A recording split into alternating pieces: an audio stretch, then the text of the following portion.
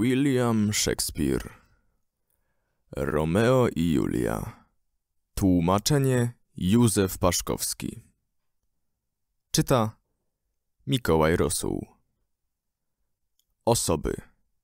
Eskalus, książę panujący w Weronie. Parys, młody Weroneńczyk szlachetnego rodu, krewny księcia. Monteki, Capulet, naczelnicy dwóch domów nieprzyjaznych sobie. Starzec, stryjeczny brat Capuleta. Romeo, syn Montekiego, Mercutio, krewny księcia, Benvolio, synowiec Montekiego, Tybalt, krewny pani Capulet, Laurenty, ojciec Franciszkanin, Jan, brat z tegoż zgromadzenia, Baltazar, służący Romea, Samson, Grzegorz, słudzy Capuleta, Abraham, służący Montekiego, aptekarz, trzech muzykantów, paś Parysa, Piotr, dowódca warty, pani Monteki, małżonka Montekiego, pani Capulet, małżonka Capuleta, Julia, córka Capuletów, Marta, mamka Julii, obywatele weroneńscy, różne osoby płci obojej, liczący się do przyjaciół obu domów, maski, straż wojskowa i inne osoby. Rzecz odbywa się przez większą część sztuki w Weronie, przez część piątego aktu w Mantui.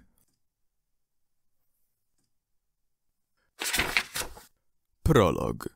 Przełożył Jan Kasprowicz. Dwa rody, zacne jednako i sławne.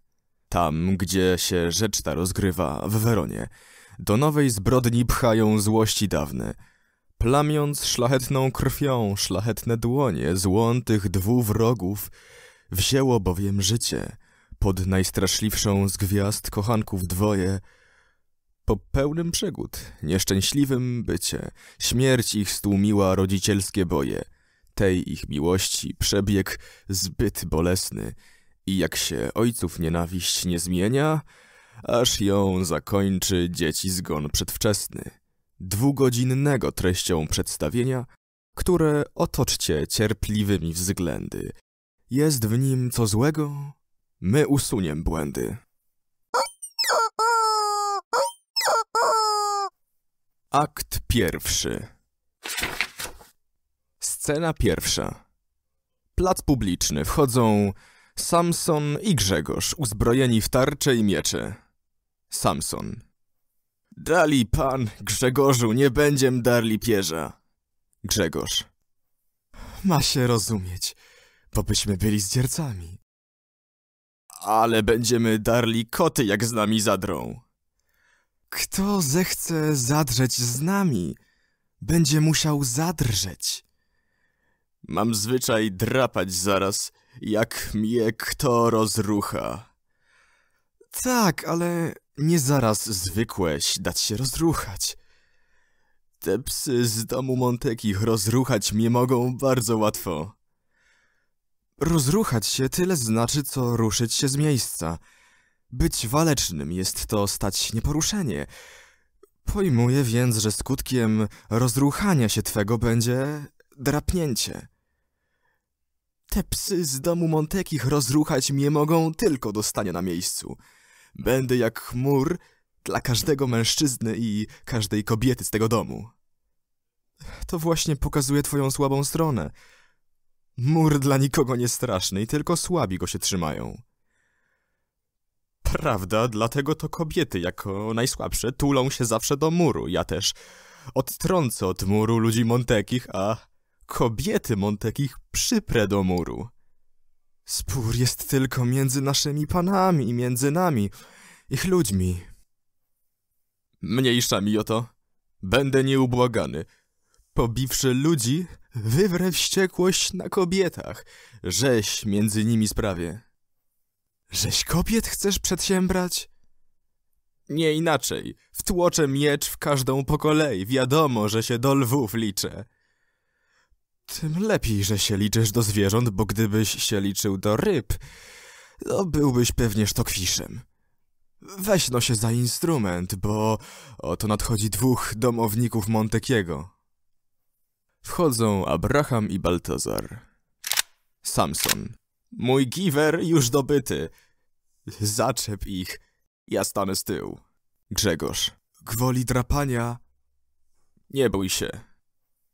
Ja bym się miał bać z twojej przyczyny.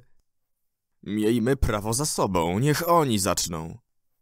Marsa im nastawię przechodząc, niech go sobie jak chcą tłumaczą. Nie jak chcą, ale jak śmią. Ja im gębę wykrzywię, hańba im, jeśli to ścierpią. Abraham. Skrzywiłeś się na nas, mości panie? Samson. Nie inaczej, skrzywiłem się. Abraham. Czy na nas się skrzywiłeś, mości panie? Samson. Do Grzegorza. Będziemy mieli prawo za sobą, jak powiem. Tak jest? Grzegorz. Nie. Samson. Nie, mości panie. Nie skrzywiłem się na was, tylko skrzywiłem się tak sobie. Grzegorz do Abrahama. Zaczepki waść szukasz? Abraham. Zaczepki? Nie. Samson. Jeżeli jej szukasz, to jestem na waścinne usługi. Mój pan tak dobry jak i wasz. Abraham. Nie lepszy.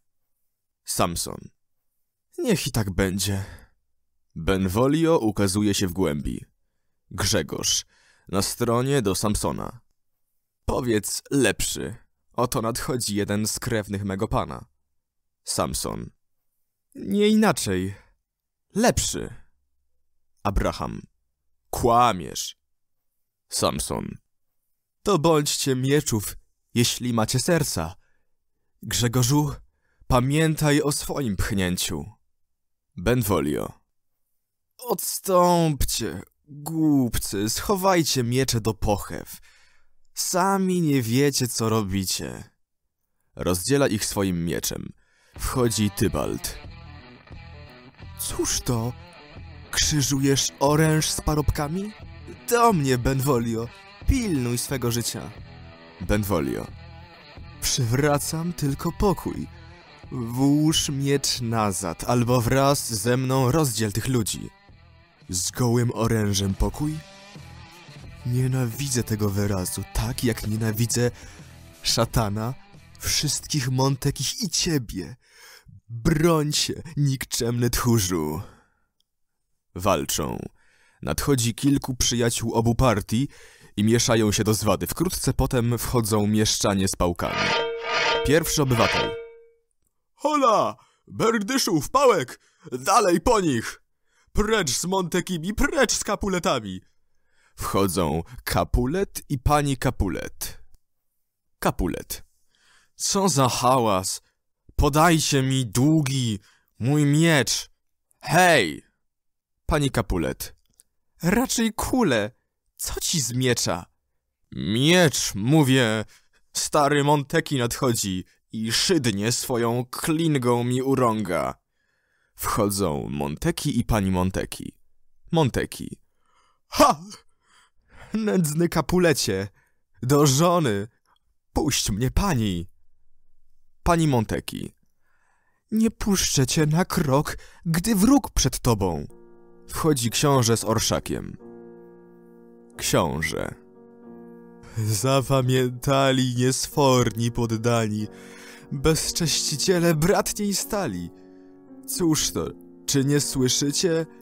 Ludzie czy zwierzęta, co wściekłych swoich gniewów żar gasicie, w własnym swoich żył źródle purpurowym.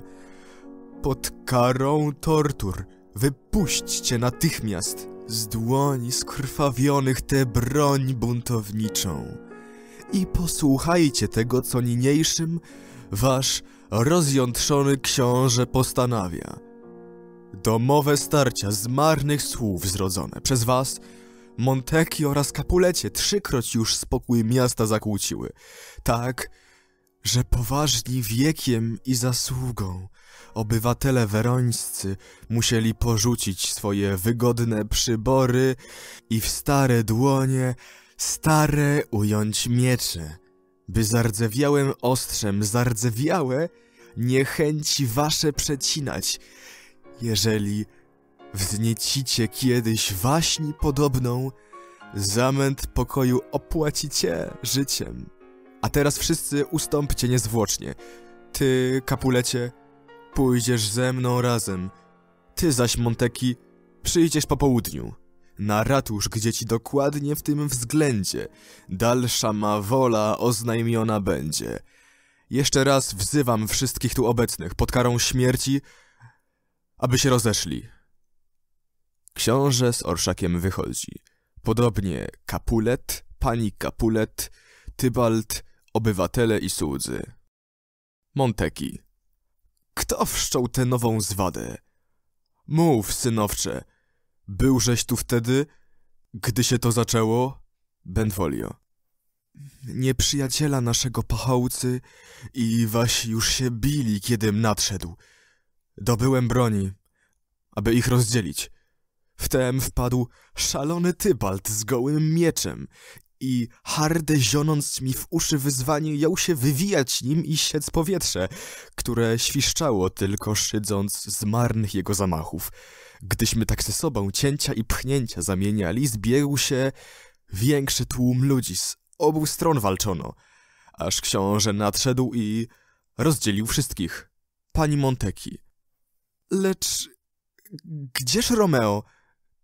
Widziałżeś go dzisiaj? Jakżeś się cieszę, że nie był w tym starciu. Benvolio. Godziną pierwej nim wspaniałe słońce w złotych się oknach wschodu ukazało. Troski wygnały mnie z dala od domu, w sykomorowy ów gaj, co się ciągnie ku południowi od naszego miasta. Tam już tak rano syn wasz się przechadzał. Ledwiem go ujrzał, pobiegłem ku niemu, lecz on Spostrzegłszy mnie, skrył się natychmiast i w najciemniejszej ukrył się gęstwinie. Pociąg ten jego do odosobnienia, mierząc mym własnym. Serce nasze bowiem jest najczynniejsze, kiedyśmy samotni. Nie przeszkadzałem mu w jego dumaniach i w inną stronę się udałem, chętnie stroniąc od tego, co rad mnie unikał. Monteki Nieraz o świcie już go tam widziano. Łzami poranną mnożącego rosę, a chmury swego oblicza chmurami, a liści ledwo na najdalszym wschodzie. Wesołe słońce z przedłoża aurory zaczęło ściągać cienistą kotarę. On, uciekając od widoku światła, co tchu zamykał się w swoim pokoju, zasłaniał okna przed jasnym dnia blaskiem i sztuczną sobie ciemnicę utwarzał. W czarne bezdroża dusza jego zajdzie, jeśli się na to lekarstwo nie znajdzie. Benvolio. Szanowny stryju, znasz, że powód tego? Nie znam i z niego wydobyć nie mogę. Wybadywał żeś go jakim sposobem? Wybadywałem i sam, i przez drugich, lecz on, jedyny powiernik swych smutków, tak im jest wierny, tak zamknięty w sobie, od otwartości wszelkiej tak daleki, jak pączek kwiatu, co go robak gryzie, nim światu wonny swój kielich roztoczył i pełność swoją rozwinął przed słońcem. Gdybyśmy mogli dojść tych trosk zarodka, nie zbrakłoby nam zaradczego środka. Romeo ukazuje się w głębi. Benvolio. Oto nadchodzi, Odstąpcie na stronę, wyrwę mu z piersi cierpienia tajone. Monteki. Obyś w tej sprawie, co nam serce rani, mógł być szczęśliwszym od nas. Pójdźmy, pani. Wychodzą Monteki i pani Monteki. Benvolio. Dzień dobry, bracie. Romeo. Jeszczeż nie południe? Dziewiąta biła dopiero. Jak nudnie wloką się chwile. Moiż to rodzice tak spiesznie w tamtą zboczyli ulicę? Tak jest. Lecz cóż tak chwile twoje dłuży? Nieposiadanie tego, co jest kraca. Miłość więc. Brak jej. Jak to? Brak miłości? Brak jej tam, skąd bym pragnął wzajemności. Niestety, czemuż zdając się niebianką, Miłość jest w gruncie tak srogą tyranką. Niestety, czemuż z zasłoną na skroni miłość na oślep zawsze cel swój goni. Gdzież dziś jeść będziem? Ach, był tu podobno jakiś spór. Nie mów mi o nim. Wiem wszystko. W grze tu nienawiść wielka, lecz i miłość. O, wy sprzeczności, niepojęte dziwa. Szorstka miłości, nienawiści tkliwa, cóż narodzone z niczego. Pieszczoto odpychająca, poważna pustoto, szpetny chaosie wdzięków, ciężki puchu, jasna mgło, zimny żarze, martwy ruchu, śnie bez snu. Taką to w sobie zawiłość, taką niełączność łączy moja miłość. Czy się nie śmiejesz? Nie, płakałbym raczej. Nad czym, poczciwa duszo? Nad uciskiem poczciwej duszy twojej. A więc strzała miłości nawet przez odbitkę działa? Dość mi już ciężył mój smutek, ty jego brzemię powiększasz przewyżką twojego. Współczucie twoje nad moim cierpieniem nie ulgą, ale nowym jest kamieniem dla mego serca. Miłość, przyjacielu, to dym, co z parą westchnień się unosi. To żar, co w oku szczęśliwego płonie. Morze łez, w którym szczęśliwy tonie. Czymże jest więcej? Istnym amalgamem, żółcią trawiącą i zbawczym balsamem. Bądź zdrów. Chcę odejść. Zaczekaj. Krzywdę byś mi sprawił, gdybyś mą przyjaźń z kwitkiem tak zostawił. Ja nie jestem tu, nie jestem sobą. To nie Romeo, co rozmawia z tobą. Kogoż to kochasz? Mów. Przestań mnie dręczyć. Mam, że wraz jęczyć i mówić nie jęczyć, tylko mi klucz dać do tego problemu. Kogóż to kochasz?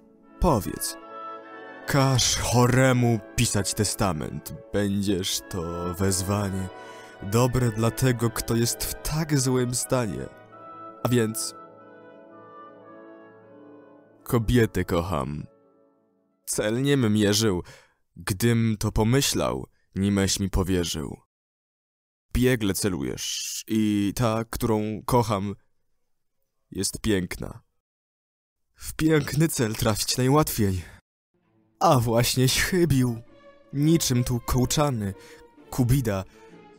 Ona ma naturę Dajany. Pod twardą zbroją wstydliwości swojej grotów miłości wcale się nie boi. Szydzi z nawału zaklęć oblężniczych, odpiera szturmy spojrzeń napastniczych. Nawet jej złota wszechwładztwo nie zjedna. Bogata w wdzięki. W tym jedynie biedna, że kiedy umrze, do grobu z nią zstąpi całe bogactwo, którego tak skąpi. Wiecznież chce sama zostać z swym bogactwem? Tak jest. I skąpstwo to jest marnotrawstwem. Bo piękność, którą własna srogość strawia, całą potomność piękności pozbawia. Zbyt ona piękna, zbyt mądra zarazem. Zbyt mądrze piękna, stąd istnym jest głazem.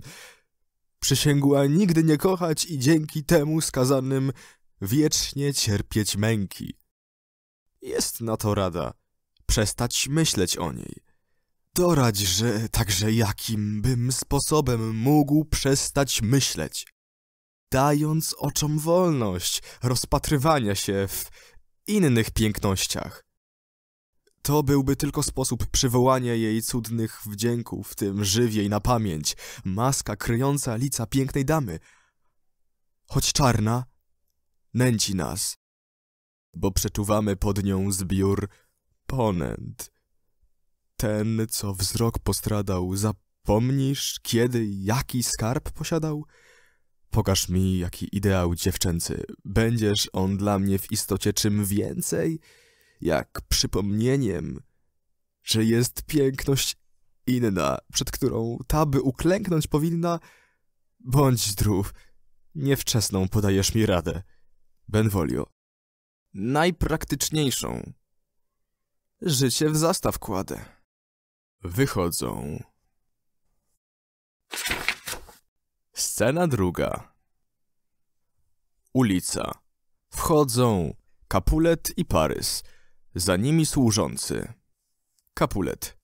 Podobną jak mnie karą zagrożono i Montekiemu, ależ w wieku naszym spokojnie siedzieć rzecz nietrudna. Parys. Oba szanownych szczepów jesteście odrośle. Tym ci żałośniej, że od tyla czasu żyjecie w takim rozdwojeniu ze sobą. Cóż mówisz, panie, na moje zabiegi? To samo, co już dawniej powiedziałem. Mojemu dziecku świat jest jeszcze obcy. Ledwie czternastu lat wysnuła przędzę. Parę jej wiosen jeszcze przeżyć trzeba, nim małżenickiego zakosztuje chleba. Z młodszych bywały nieraz szczęsne matki. Lecz prędko więdną przedwczesne mężatki. Ziemia schłonęła wszystkie me nadzieje. Oprócz tej jednej, ona jest, Parysie, przyszłą, jedyną moich ziem dziedziczką. Staraj się jednak, skarb sobie jej serce. Chęć ma, z jej chęcią nie będzie w rozterce. Jeśli cię przyjmie, głos ojca w tym względzie jej pozwolenia echem tylko będzie. Daję dziś wieczór, na który niemało gości sprosiłem. Gdyby ci się dało, być jednym więcej, w nader miły sposób zwiększyłbyś przez to zbiór miłych mi osób. W biednym mym domu, jednocześnie z nocą. Takie dziś gwiazdy ziemskie zamigocą, że od ich blasku blask niebieski zblednie. Uciechy młodym ludziom odpowiednie, podobne do tych, jakie kwiecień sprawia. Gdy w starym progu zimę się pojawia, takie uciechy w całej swojej mocy. Wśród chorzych dziewic staną się tej nocy. Udziałem twoim w domu kapuletów. Przyjdź, przejść i wybierz sobie z tych bukietów kwiat najpiękniejszy. I mój kwiat tam luby wejdzie do liczby, choć nie ma rachuby. Idźmy do sługi, a wasze obejdź w krąg Weronę, wynajdź osoby tu wyszczególnione, oddaję mu papier i powiedz każdej, że mój dom otworem na ich usługi stanie dziś wieczorem. Wychodzą Kapulet i Parys. Służący. Mam wynaleźć osoby tu wyszczególnione. To się znaczy według tego, co tu napisano. A cóż tu napisano? Oto, że szewc ma pilnować łokcia, a krawiec kopyta, rybak pędzla, a malarz więcierza. Jakże wynajdę osoby tu wyszczególnione, kiedy nie mogę wynaleźć środka na wyczytanie tego, co osoba pisząca tu wyszczególnia. Kazano mi jednak, muszę się udać do uczonych. Oto jacyś ich moście. W samą porę nadchodzą. Wchodzi Romeo i Benvolio. Benvolio. Tak, bracie, płomień spędza się płomieniem. Ból dawny nowym leczy się cierpieniem. Kręć się na odwrót, gdy masz zawrót głowy. Klin wyrugujesz, klin wbijając nowy. Zaczerpnij nowej zarazy do łona, a jad dawniejszej niewątpliwie skona. Liść pokrzywiany wyborny jest na to. Na cóż to, proszę? Na oparzeliznę. Spróbuj no tylko. Powiedz mi, Romeo, czyś ty oszalał? Nie, nie oszalałem, lecz wpadłem w gorszy stan niż szalonego. W loch się dostałem. Jestem pastwą głodu, chłost i mąk. Dobry wieczór, przyjacielu. Służący. Nawzajem, panie. Czy umiesz pan czytać? Niestety, umiem w moim przeznaczeniu czytać niedole. Tego się bez książki można nauczyć, ale ja się pytam, czy pan pisane rzeczy umie czytać. Małej mi rzeczy do tego potrzeba. To jest znać tylko język i litery. Słusznie pan mówisz. Bądźże zdrów i wesół. Chcę odejść. Czekaj no. Wasze. Umiem czytać. Czyta. Signor Martino, jego małżonka i córki, hrabia Anselm ze swymi pięknymi siostrami. Signora wdowa po Witruwiuszu, signor Placentio i jego miłe siostrzenice, Merkucjusz i jego brat Walenty, mój stryj Kapulet z małżonką i córkami, moja śliczna siostrzenica Rosalina, Livia, signor Valentio i nasz kuzyn Tybalt, Lucjusz i nadobna Helena. Wspaniałe grono. Oddaję kartę. Gdzież oni przyjść mają? Owdzie. Gdzie? Do naszego pałacu, na wieczerze. Do czyjego pałacu? Mojego pana. W istocie powinienem się był przede wszystkim spytać, kto nim jest. Oznajmię to panu bez pytania. Moim panem jest możny, bogaty kapulet. Jeżeli panowie nie jesteście z domu Montekich, to was zapraszam do niego na kubek wina. Bądźcie weseli. Wychodzi. Benvolio. Na tym wieczorze Kapuleta będzie Bożyszcze twoje piękna Rosalina, obok najpierwszych piękności werońskich. Pójdź tam i okiem bezstronnym porównaj jej twarz z obliczem tych, które ci wskażę. Wnet nowe bóstwo ślad dawnego zmarze. Gdyby rzetelny mój wzrok tak fałszywym miał dać świadectwo, łzy, stańcie się żarem. Wy, zalewane wciąż, a jeszcze żywe, przezrocza, spłońcie pod kłamstwa nad miarem. Zatrze ci wdzięki. Nigdy wszechwidzące równej piękności nie widziało słońce. Wielbisz ją, boś ją jedną na oboich ważył dotychczas szalach oczu swoich. Lecz umieść na tej wazy kryształowej obok niej inną, którą ci gotowy będę dziś wskazać – a ręczę, że owa nieporównana w kąt się przed tą schowa. Romeo, pójdę tam, ale z obojętnym okiem. Jednej wyłącznie poić się widokiem. Wychodzą. Scena trzecia. Pokój w domu Kapuletów. Wchodzi pani Kapulet i Marta. Pani Kapulet. Gdzie moja córka? Idź ją tu przywołać. Na moją cnotę do dwunastu wiosen już ją wołałam. Pieszczotko, biedronko! Julciu, pieszczotko moja, moje złotko. Boże, zmiłuj się. Gdzież ona jest? Julciu! Wchodzi Julia. Czy ktoś mm, wołał? Mama. Jestem, pani. Co mi rozkażesz? Słuchaj. Odejdź, Marto. Mam z nią sam na sam coś do pomówienia.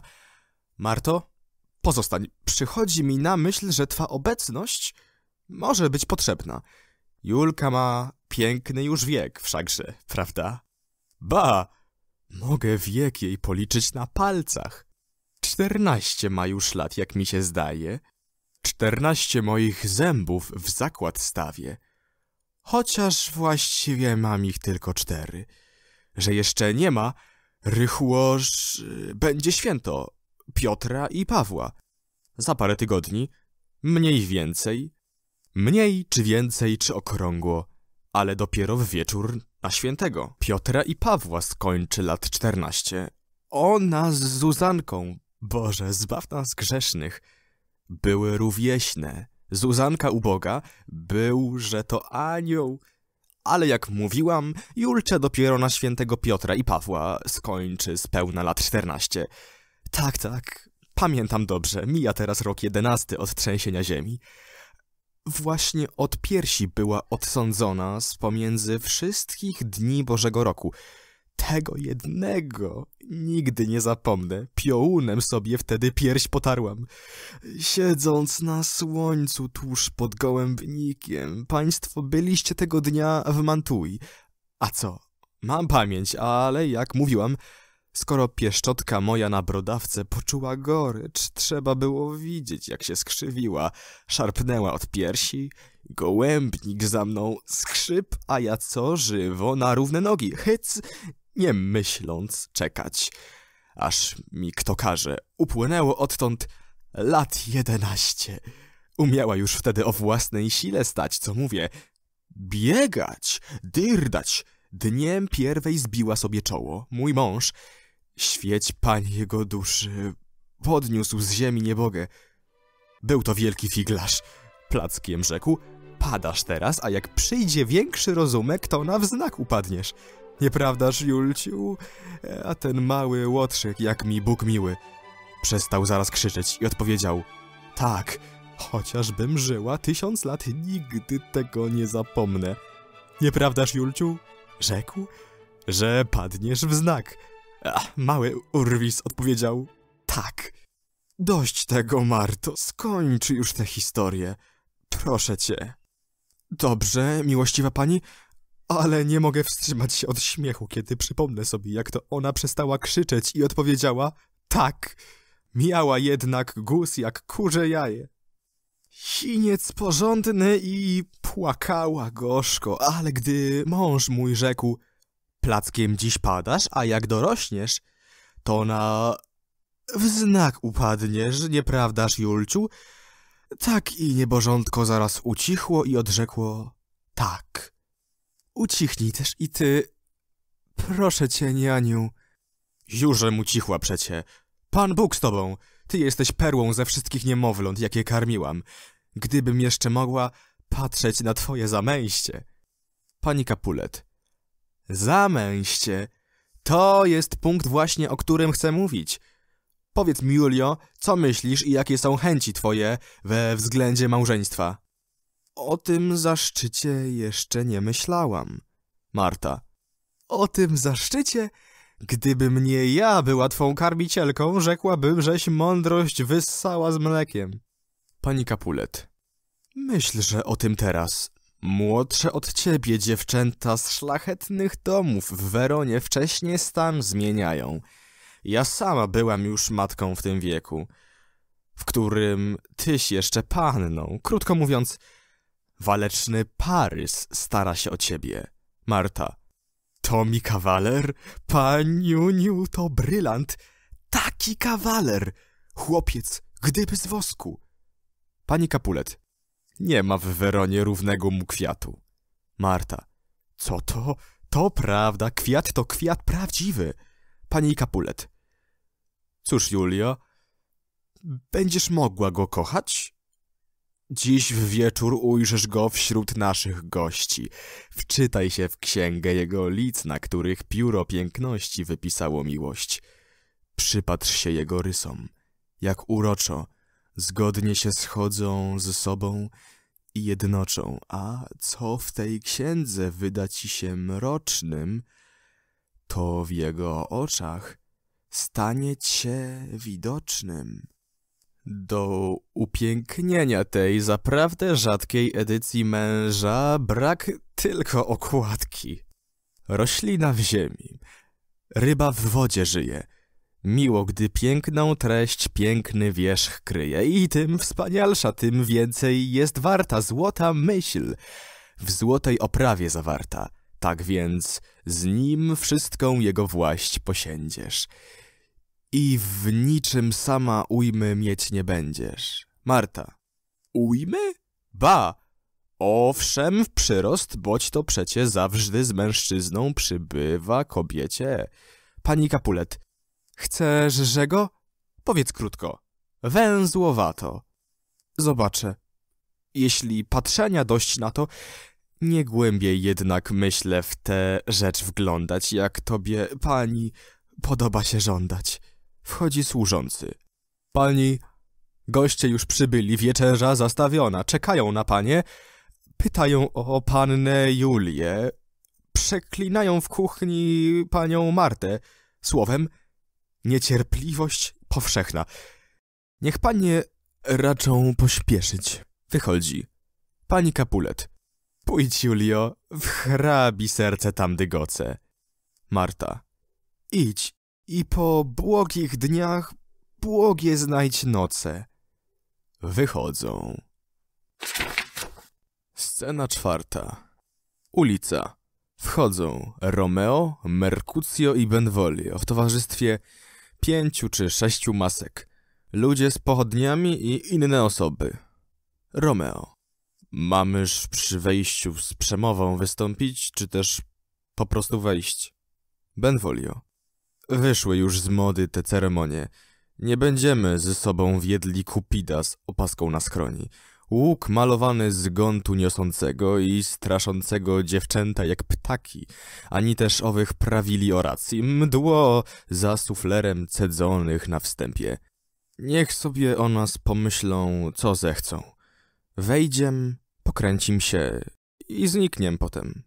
Kręćcie się, kiedy chcecie. Jam do tego dziś niesposobny. Merkucjo. Kochany Romeo, musisz potańczyć także. Nie, doprawdy, wy macie lekkie trzewiki, to tańczcie. Mnie ołów serce tłoczy, ledwie mogę ruszyć się z miejsca. Zakochany jesteś. Pożycz strzelistych od kupita skrzydeł i wznieś się nimi nad poziomą sferę. Nie mnie, tkniętemu, srodze jego strzałą, strzeliście wzbijać się na jego skrzydłach. Nie mnie się wznosić nad poziom, co nosząc brzemię miłości na poziom upadam. A gdybyś upadł z nią, ją byś obrzemił.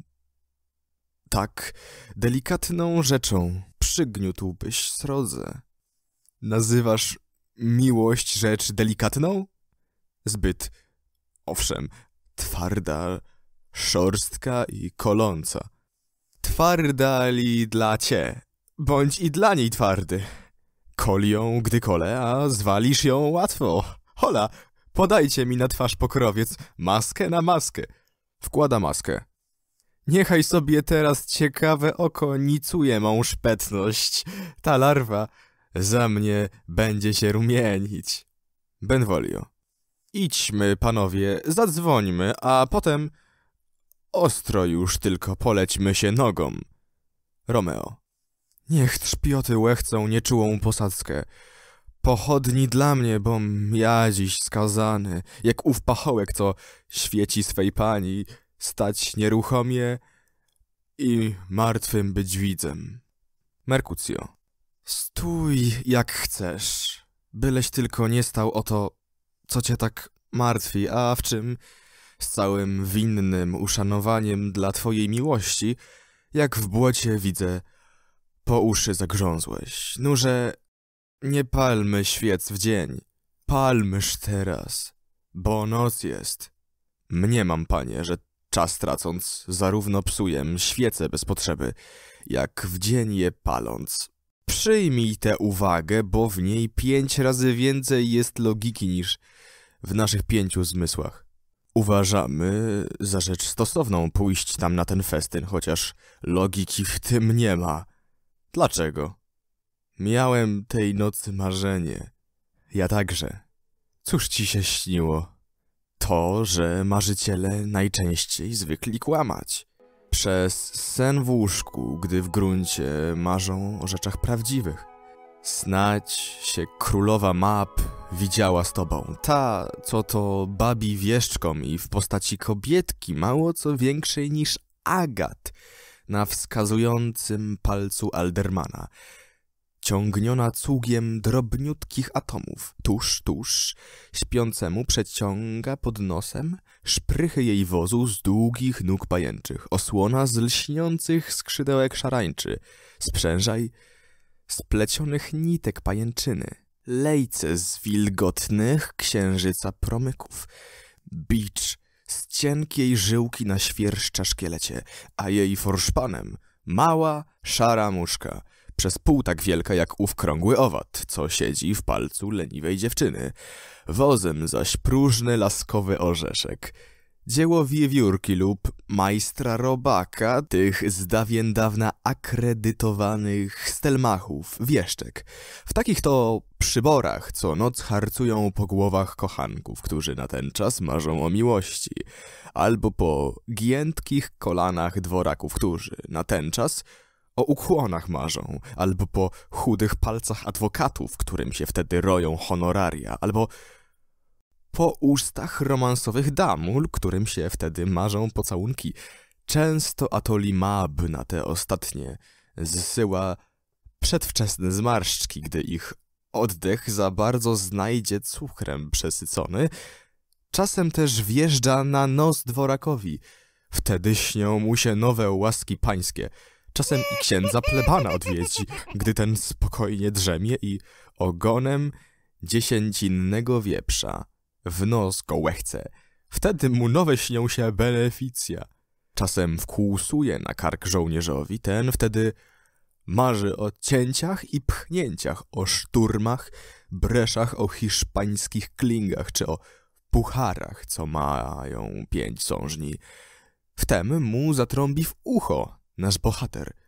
Truchleje, zrywa się kląc, zmawia pacierz i znów zasypia. Taka jest Mab. Ona, ona to w nocy zlepia grzywy koniom i włos ich gładki w szpetne kudły zbija, które rozczesać niebezpiecznie.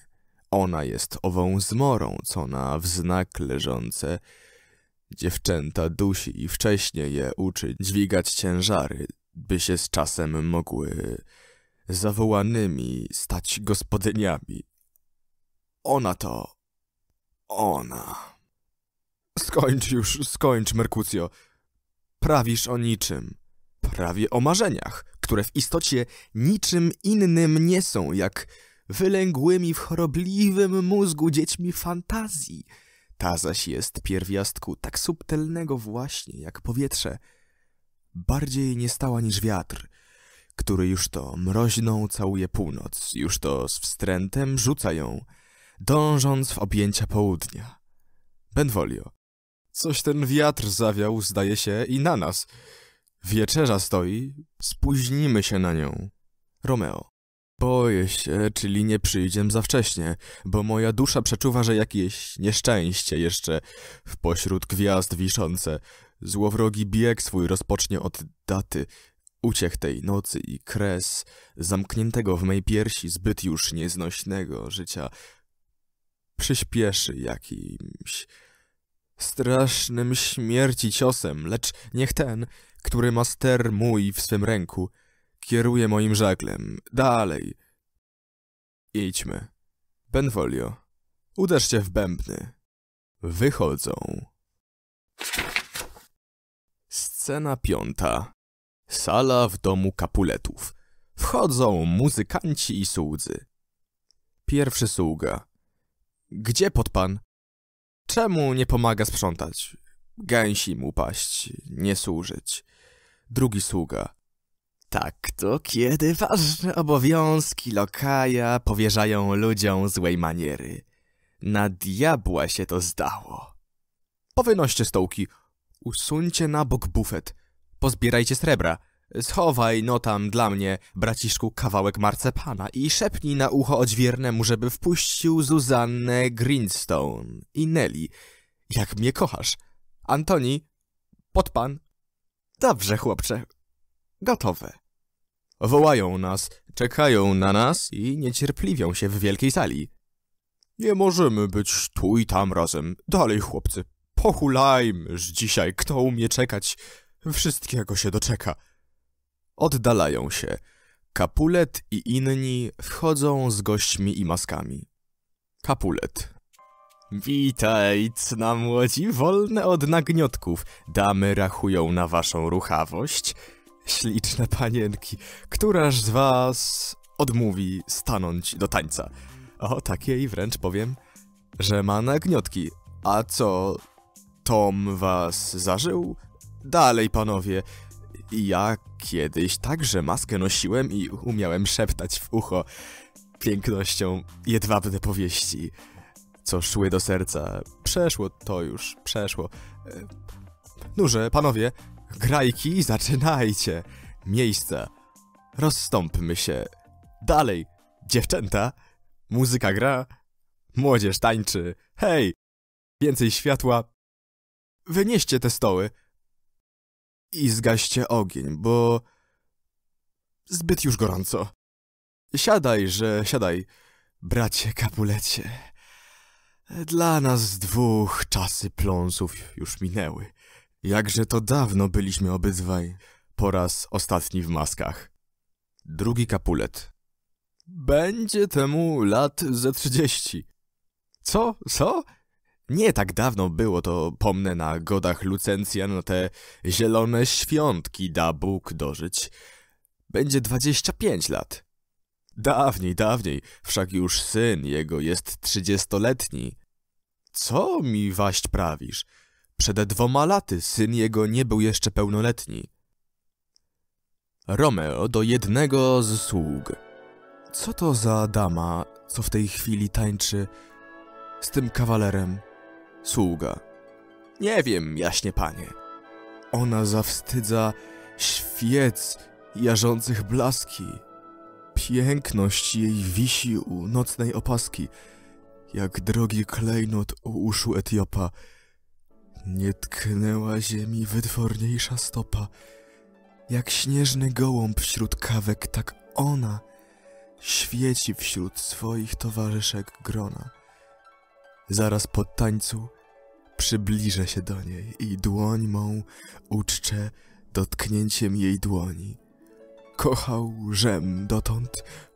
O, zaprzecz mój wzroku, boś jeszcze nie znał równego uroku. Tybalt. Sądząc po głosie, z Montekich to któryś. Daj no mi rapir, chłopcze. Jak się waży ten łotr tu wchodzić i kłamaną larwą szyderczą naszej urągać zabawie, na krew szlachetną, co mi wzdyma serce, nie będzie grzechu, jeśli go uśmiercę. Kapulet. Ty, palcie, co ci? Czego się zrzymasz? Ujmy tej, stryju, pewno nie wytrzymasz.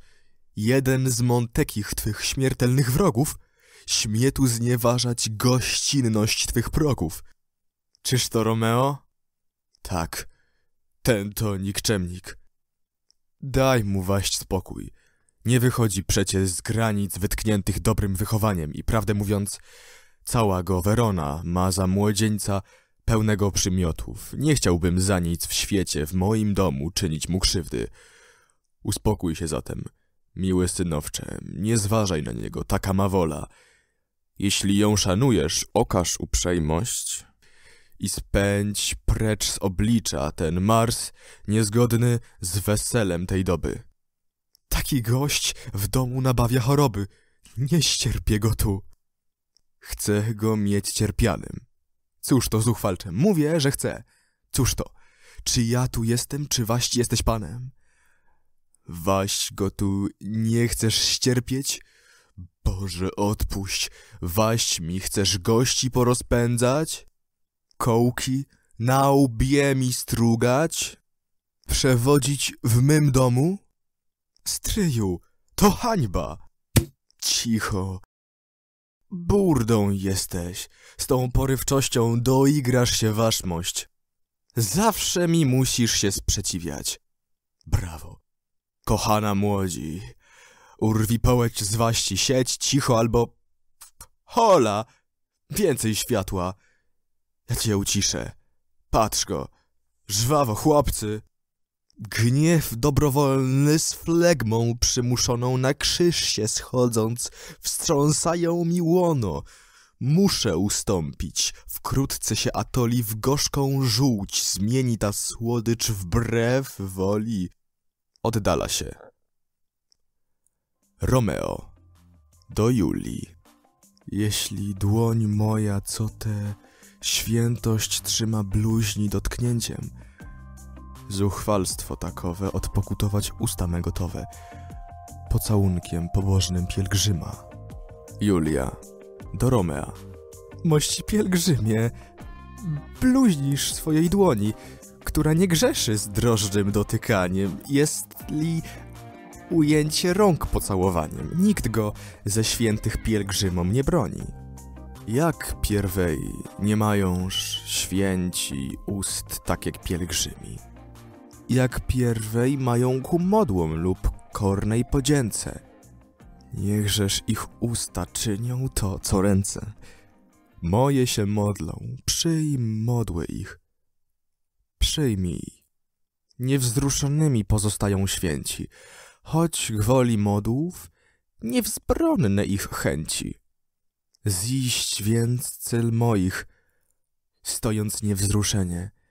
I z ust swych moim daj wziąć rozgrzeszenie. Całuję ją.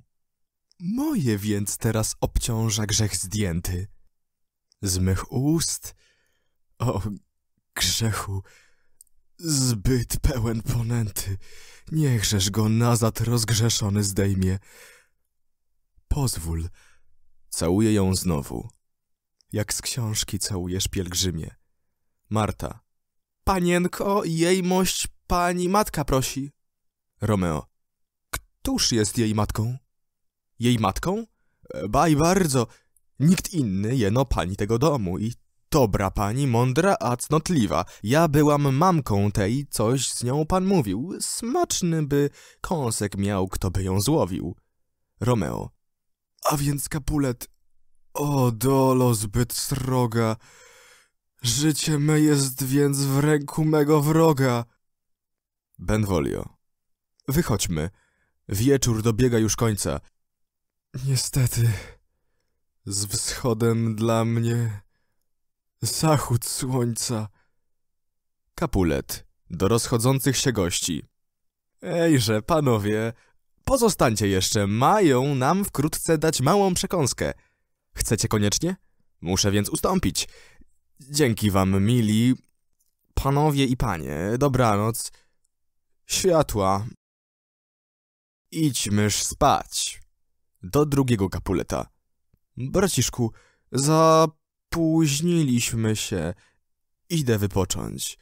Wychodzą wszyscy, prócz Julii i Marty. Czy nie wiesz, Nianiu, kto to jest ten pan? Ten tu? To syn starego Tyberia. A tamten? Co właśnie ku drzwiom zmierza. To podobno młody Petrycy. A ów tam na prawo, co nie chciał tańczyć? Nie wiem.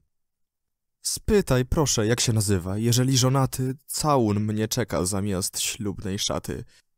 Zwie się Romeo. Jest z rodu Montekich, synem waszego największego wroga.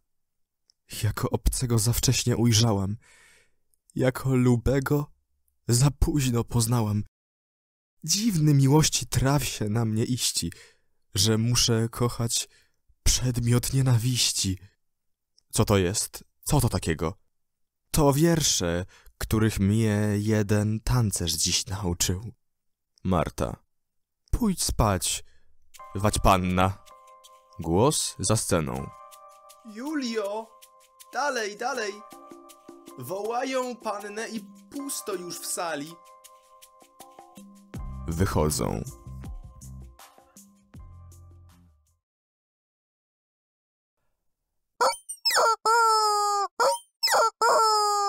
Akt drugi. Prolog przełożył Jan Kasprowicz. Chór. Dawna namiętność już w całunach leży. W jej miejscu władnie siła rządzy nowej. Piękną przestała być przy Julii świeżej piękność, dla której umrzeć był gotowy. Dziś jest Romeo kochany i kocha, w oczach obojga żar jednaki płonie, lecz on w niej wroga przypuszczając szlocha, a ona miłość z wędki grozy chłonie. On się nie zbliży i przed nią nie złoży, przysiąg serdecznych uważam za wroga i jej choć w łonie namiętność się sroży, zejścia się z lubym zamknięta jest droga. Lecz w żądzy siła, po wielkich katuszach, wielką im radość czas zgotuje w duszach. Scena pierwsza. Pusty plac, przytykający do ogrodu kapuletów. Wchodzi Romeo. Mam, że iść dalej, gdy tu moje serce... Cofnij się, ziemio. Wynajdź sobie centrum. Wchodzi na mur i spuszcza się do ogrodu. Wchodzą Mercutio i Benvolio. Benvolio. Romeo, bracie, Romeo! Mercutio. Ma rozum, powietrze chłodne, więc dyrdnął do łóżka. Pobiegł tą drogą i przelazł przez parkan. Wołaj, Mercutio. Użyję nań zaklęć.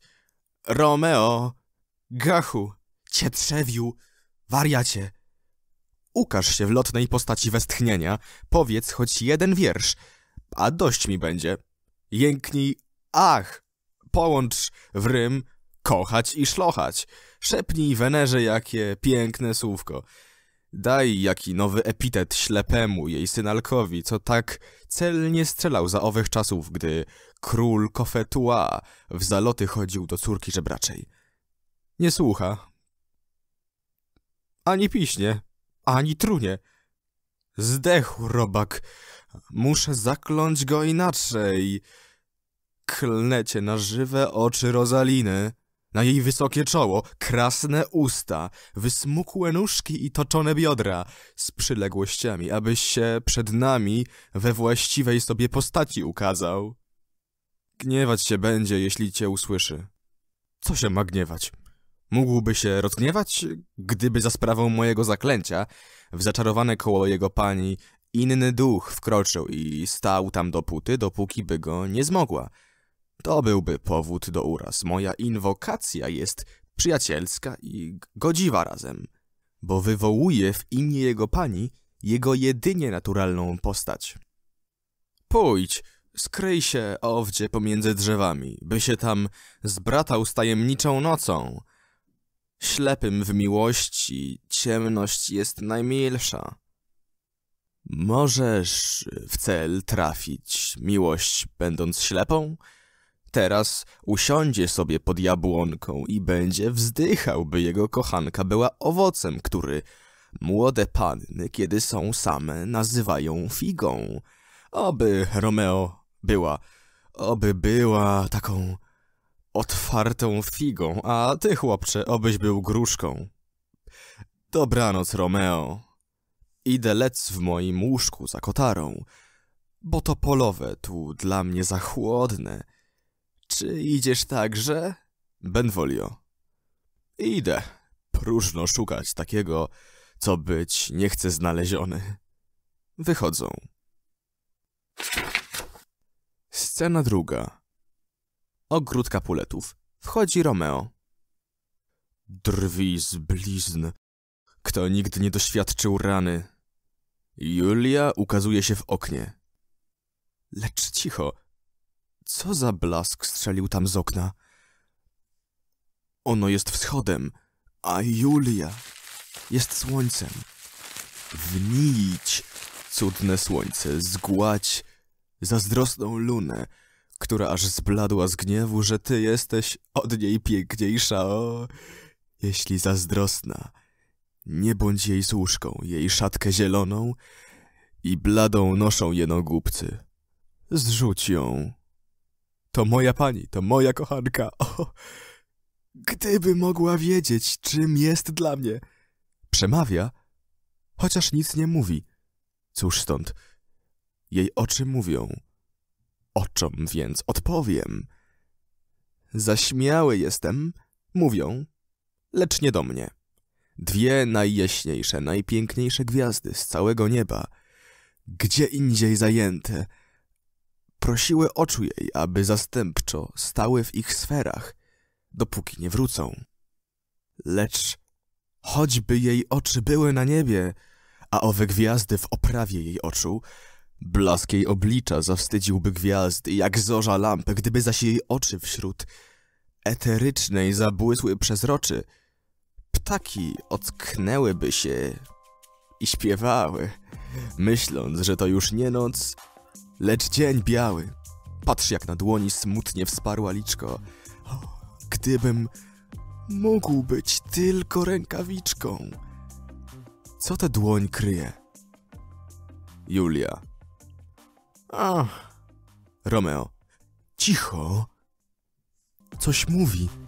O. Mów. Mów dalej, uroczy aniele bo ty mi w noc te tak wspaniale świecisz, jak lotny goniec niebios rozwartemu od podziwienia oku śmiertelników, które się wlepia w niego, aby patrzeć, jak on po ciężkich chmurach się przesuwa i po powietrznej żegluje przestrzeni. Romeo, Czemuż ty jesteś Romeo? Wyrzecz się swego rodu. Rzuć tę nazwę. Lub jeśli tego nie możesz uczynić, to przysiąż wiernym być mojej miłości. A ja przestanę być z krwi kapuletów. Mamże przemówić, czy też słuchać dalej? Nazwa twa tylko jest mi nieprzyjazna, boś ty w istocie nie Montekim dla mnie jest, że Monteki choćby tylko ręką, ramieniem, twarzą, zgoła jakąkolwiek częścią człowieka. Weź inną nazwę. Czymże jest nazwa? To, co zowiem różą. Pod inną nazwą równie by pachniało. Tak i Romeo, bez nazwy Romea, przecież by całą swą wartość zatrzymał. Romeo, porzuć tę nazwę, a w zamian za to, co nawet cząstką ciebie nie jest, weź mnie. Ach, całą. Biorę cię za słowo. Zwij mnie kochankiem, a krzyż mosztu twego sprawi, że odtąd nie będę Romeem. Ktoś ty jest, co się nocą osłaniając, podchodzisz moją samotność? Z nazwiska nie mógłbym tobie powiedzieć, kto jestem. Nazwisko moje jest mi nienawistne, bo jest... O, święta, nieprzyjazne tobie. Zdarłbym je, gdybym miał je napisane. Jeszcze me ucho stu słów nie wypiło z tych ust, a przecież dźwięk już ich mi znany. Jestżeś Romeo, mów. Jestżeś Monteki? Romeo. Nie jestem ani jednym, ani drugim. Jedno li z dwojga jest niemiłe tobie. Jakżeś tu przyszedł? Powiedz. I dlaczego? Mur jest wysoki i trudny do przejścia, a miejsce zgubne. Gdyby cię kto z moich krewnych tu zastał. Na skrzydłach miłości. Lekko, bezpiecznie mur ten przesadziłem, bo miłość nie ma żadnych tam i granic, a co potrafi. Na to się i waży. Krewni więc twoi nie trwożą mnie wcale. Zabiliby cię, gdyby cię ujrzeli. Ach, więcej groźby leży w oczach twoich, niż w ich dwudziestu mieczach. Patrz łaskawie, a będę silny przeciw ich gniewowi. Na Boga, niech cię oni tu nie ujrzą. Ciemny płaszcz nocy skryje mnie przed nimi, lecz niech mnie znajdą. Jeśli ty mnie kochasz, lepszy kres życia skutkiem ich niechęci niż przedłużony zgon w braku twych uczuć. Kto ci dopomógł znaleźć tu ustronie? Miłość, co mi go doradziła szukać. Ona ma instynkt. Ja jej oczy dałem. Nie jestem sternik. Gdybyś jednak była równie daleko jak ów brzeg, którego morze najdalsze podmywa krawędzie, śmiało po taki klejnot bym popłynął. Julia. Gdyby nie ciemność, co mi twarz maskuje, widziałbyś na niej rozlany rumieniec. Po tym, co z ust mych słyszałeś tej nocy, rada bym formy się trzymać, rada cofnąć. To, co wyrzekłam, ale precz. Udanie. Czy ty mnie kochasz? Wiem, że powiesz. Tak jest. Ja ci uwierzę. Mimo przysiąg jednak możesz mnie zawieść. Z wiarołomstwa mężczyzn śmieje się, mówią Jowisz. O, a Romeo, jeśli mnie kochasz, wyrzecz to rzetelnie, lecz jeśli masz mnie za podbój zbyt łatwy, to zmarszczę czoło i przewrotną będę i na miłosne twoje oświadczenia powiem nie, w innym razie za nic w świecie. Zaczuła może jestem Monteki. Stąd możesz sądzić me obejście płochym. Ufaj mi jednak. Będę ja wierniejsza od tych, co bieglej umieją się drożyć. Byłabym ja się była, prawdę mówiąc, także drożyła, gdybyś był tajnego głosu miłości mojej nie podchwycił. Nie win mnie przeto, ani też przypisuj płochości tego wylania mych uczuć, które zdradziła noc ciemna. O, Julio, przysięgam na ten księżyc, co wspaniale powleka srebrem tamtych drzew wierzchołki. Nie przysięgaj na księżyc, bo księżyc co tydzień zmienia kształt swej pięknej tarczy. I miłość twoja po takiej przysiędze mogłaby również zmienną się okazać. Na cóż mam przysiąc? Nie przysięgaj wcale, lub wreszcie przysiąż na samego siebie, na ten uroczy przedmiot mych uwielbień. To ci uwierzę. Jeśli szczera miłość mojego serca... Daj pokój przysięgom. Lubo się cieszę z twojej obecności. Te nocne śluby nie cieszą mnie jakoś. Za nagłe one są, za nierozważne. Podobne niby do blasku, co znika, nim człowiek zdąży powiedzieć błysnęło. Dobranoc, luby, oby nam ten wonny miłości pączek przyniósł kwiat niepłonny. Bądź zdrów i zaśnij z tak błogim spokojem, jaki z Twej łaski czuję w sercu mojem. Także mam odejść niezaspokojony? Jakiegoż więc chcesz zaspokojenia? Zamiany Twoich zapewnień za moje. Jużem ci dała je, nimeś zażądał, rada bym jednak one mieć na powrót. Chciałażbyś cofnąć je? Dlaczego? Luba. Ażebym mogła oddać ci je znowu, a przecież jest to żądanie zbyteczne. Bo moja miłość równie jest głęboka jak morze, równie jak ono bez końca. Im więcej ci jej udzielam, tym więcej czuję jej w sercu. Słychać w pokojach głos Marty. Wołają mnie. Zaraz! Bądź zdrów, kochanku drogi. Zaraz! Zaraz! Najmilszy, pojmij być stałym. Zaczekaj. Zaczekaj trochę. Powrócę za chwilę. Wychodzi. Romeo. Błogosławiona, o, błogosławiona, po dwakroć nocy. Ale czy to wszystko dziejąc się w nocy nie jest marą tylko? Co tak lubego może być istotnym? Julia, ukazując się znowu. Jeszcze słów parę, a potem dobranoc.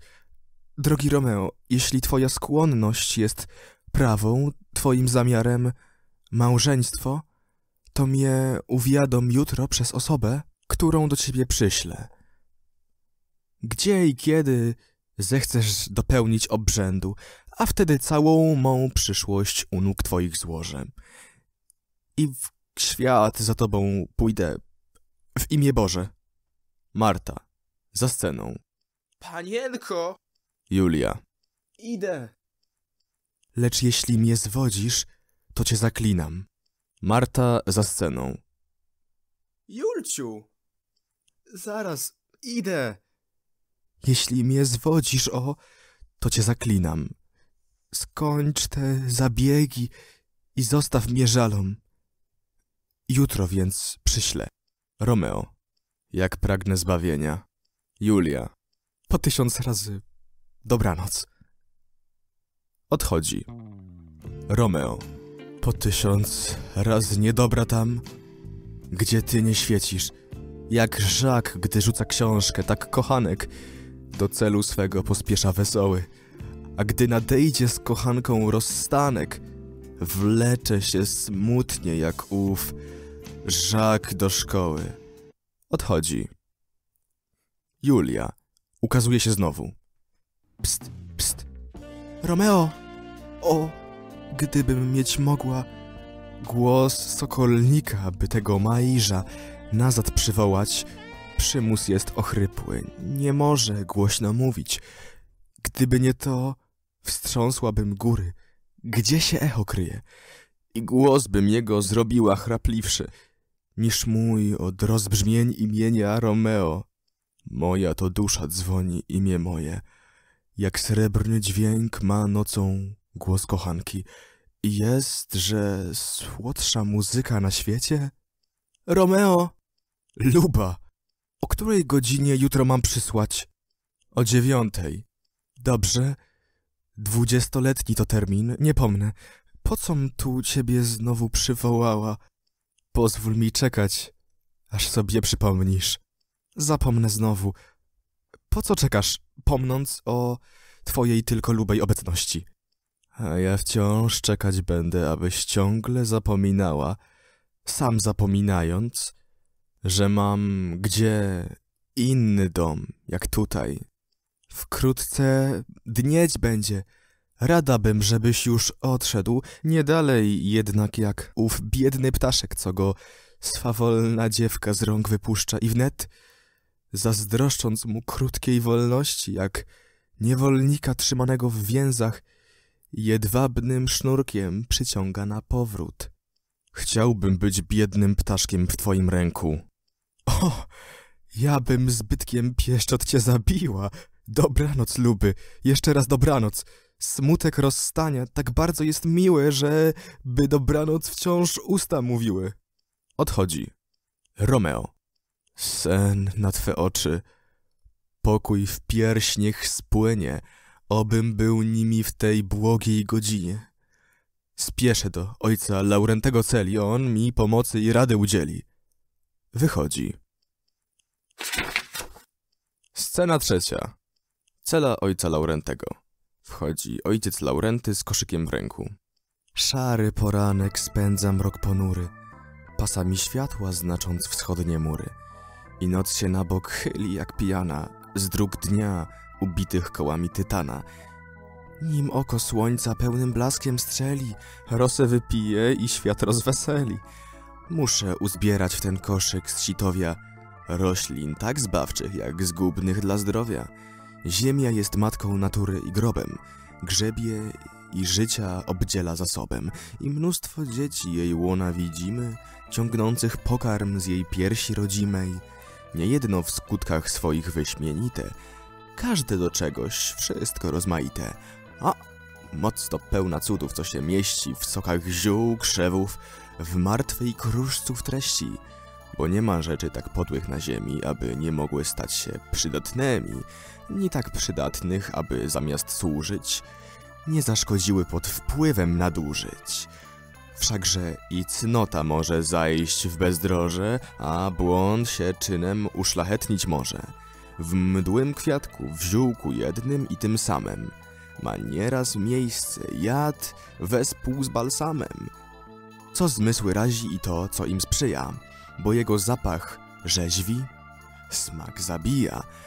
Podobnie sprzeczna i w człowieku gości dwójca pierwiastków, dobroci i złości, a kędy górę gorsza weźmie strona, tam śmierć przychodzi i roślina kona.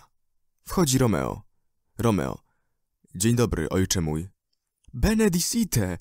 Cóż to za ranny głos tam mnie pozdrawia. Młody mój synu, zły to znak. Kto łoże próżne zostawia o tak wczesnej porze?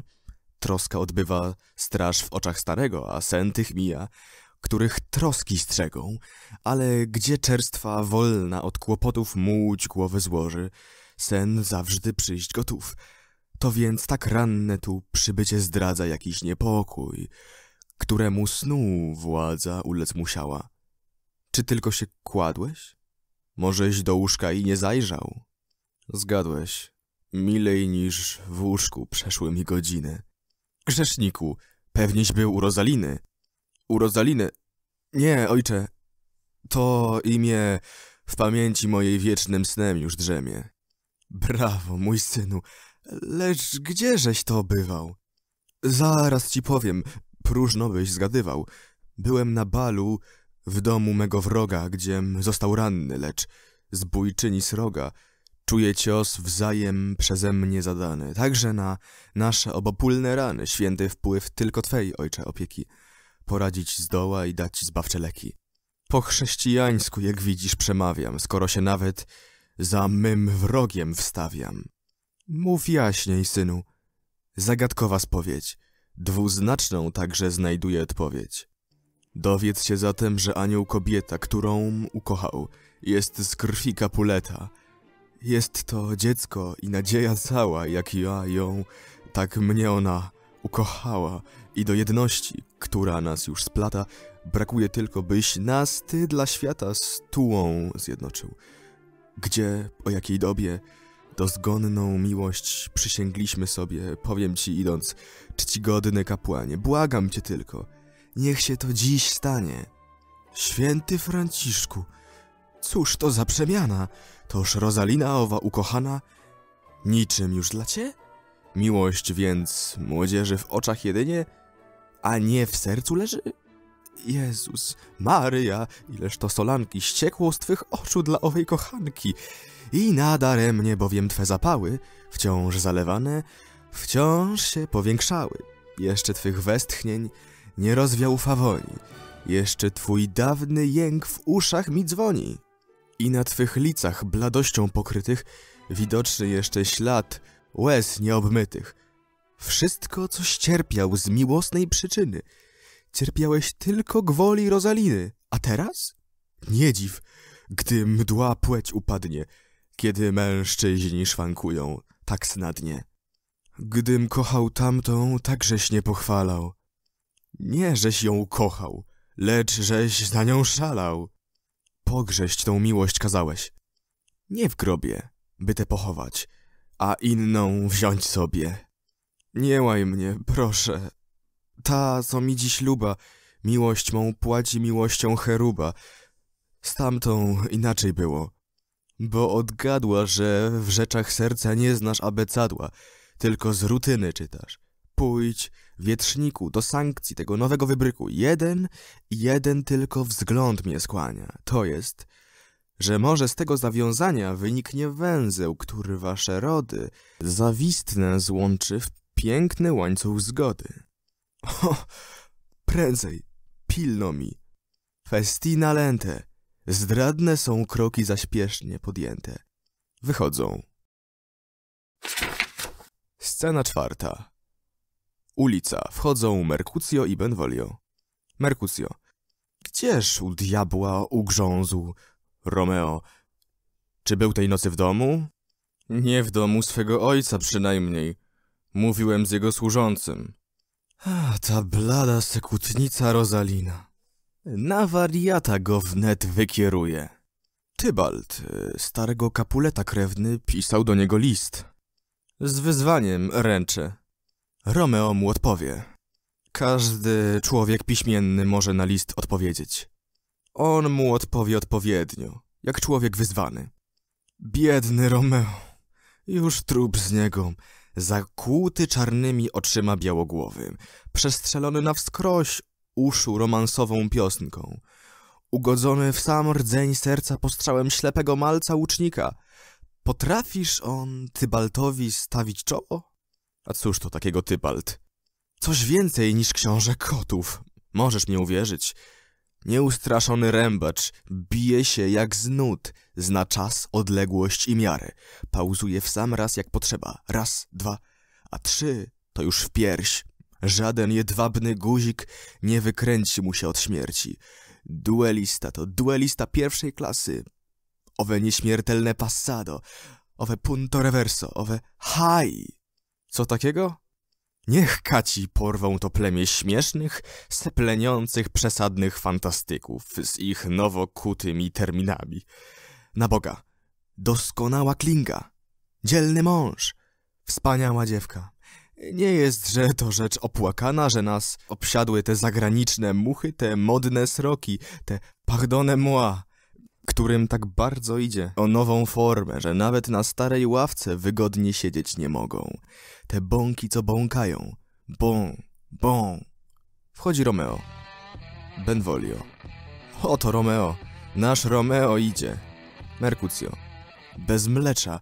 Jak śledź suszony. O, człowieku, jakżeś się w rybę przedzierzgnął. Teraz go rymy petrarki rozczulają.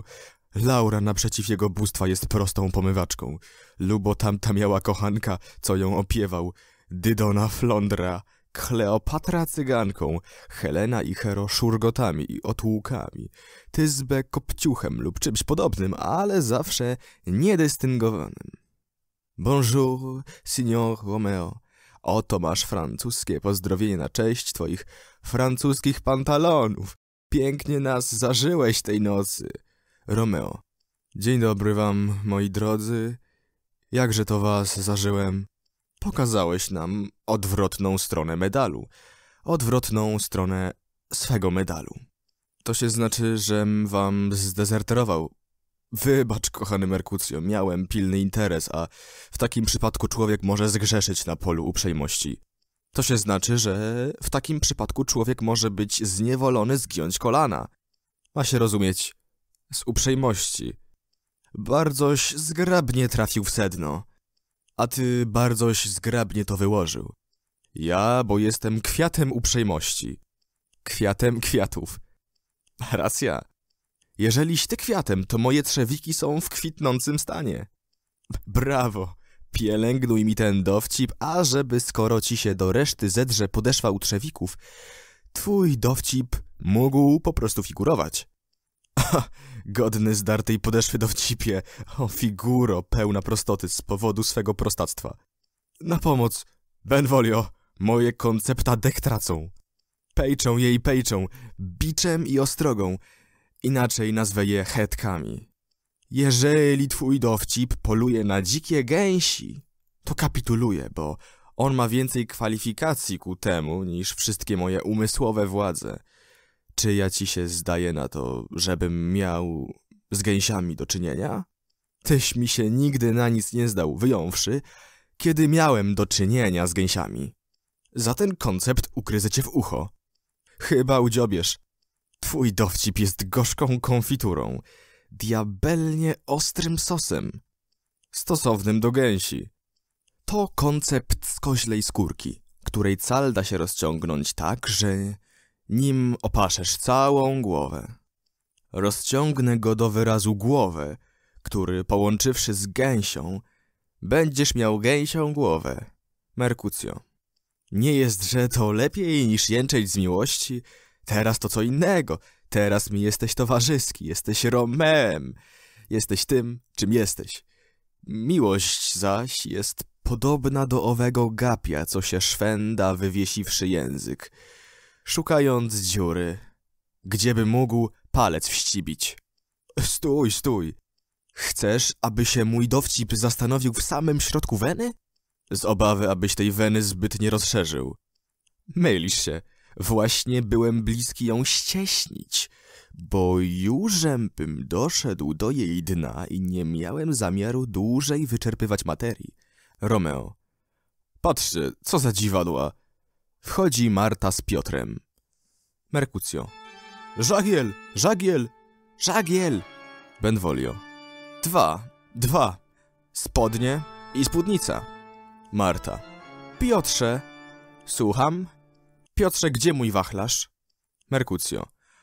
Proszę cię, mój Piotrze, zakryj wachlarzem twarz jej mości, bo z dwojga tego jej wachlarz jest piękniejszy. Życzę panom dnia dobrego. Życzymy ci dobrego popołudnia, piękna signoro. Czy to już południe? Nie inaczej, bo nieczysta ręka wskazówki na kompasie trzyma już południe za ogon. Chryste panie, cóż to za człowiek zwać pana? Romeo. Człowiek, którego pan Bóg skazał na zepsucie. Dobrzeż pan powiedział, na poczciwość. Nie wie też czasem, który z panów, gdzie bym mogła znaleźć młodego Romea? Romeo. Ja wiem czasem, ale młodego Romea znajdziesz wać pani starszym, niż był. Kiedyś go szukać zaczęła. Jestem najmłodszy z tych, co noszą to imię w braku gorszego. A, to dobrze. Merkucjo. Możesz być dobrym to, co jest gorszym? Jeżeli wać pan nim jesteś, to rada bym z nim pomówić sam na sam. Benvolio. Zaprosi go na jakąś wieczorynkę. Merkucjo. Pośredniczka to Wenery. Ośha. Romeo. Cóż to? Czyś kota upatrzył? Kotlinę, panie. Nie kota. I to w starym piecu, nie w polu. Bodaj to kotlina. gdzie siedzi kocina. Ta nie osmali, lecz zmykaj chudzino, przed taką kotliną, gdzie diabeł pali. Romeo, czy będziesz u ojca na obiedzie? My tam idziemy. Pośpieszę za wami. Merkucjo. Do widzenia. Starożytna damo. Damo? Damo? Damo? Damo? Wychodzą Merkucjo i Benvolio. Marta. Tak, tak, do widzenia. Co to za infamis, proszę pana? Co się tak poważył rozpuścić cugle swemu grubiaństwu? Romeo. Jest to panicz zakochany w swym języku, zdolny wypowiedzieć więcej w ciągu jednej minuty niż milczeć przez cały miesiąc. Jeżeli on na mnie co powiedział, dam ja mu, chociażby był zuchwalszy, niż jest, i miał ze sobą dwudziestu sobie podobnych drabów, a jeżeli mi ujdzie, to znajdę takich, co to potrafią. Ach, hultaj, czy to ja jestem jego kochanką, jego poniewieradłem? Do Piotra. I ty tu stałeś także i mogłeś ścierpieć, żeby mnie lada gbur używał wedle upodobania za przedmiot swych bezwstydnych żartów? Piotr. Nie widziałem jeszcze, żeby kto używał jej mości wedle upodobania. Gdybym był to widział, byłbym... Był pewnie zaraz giwer wydobył ręce za to. Umiem się najeżyć tak dobrze jak kto inny, kiedy mam sposobność po temu i prawo za sobą. Dla Boga, tak jestem rozdrażniona, że się wszystko we mnie trzęsie. A hultaj, otóż proszę pana, tak jak powiedziałam, młoda moja pani kazała mi się wywiedzieć o panu. Co mi kazała powiedzieć, to sobie zachowuję, ale przede wszystkim oświadczam panu, że jeżeli byś ją osadził na koszu, jak to mówią, bo panienka, o której mówię, jest młoda i dlatego Gdybyś ją pan wywiódł w pole, byłoby to tak ciężkim psikusem, jak tylko młodej panience można wyrządzić.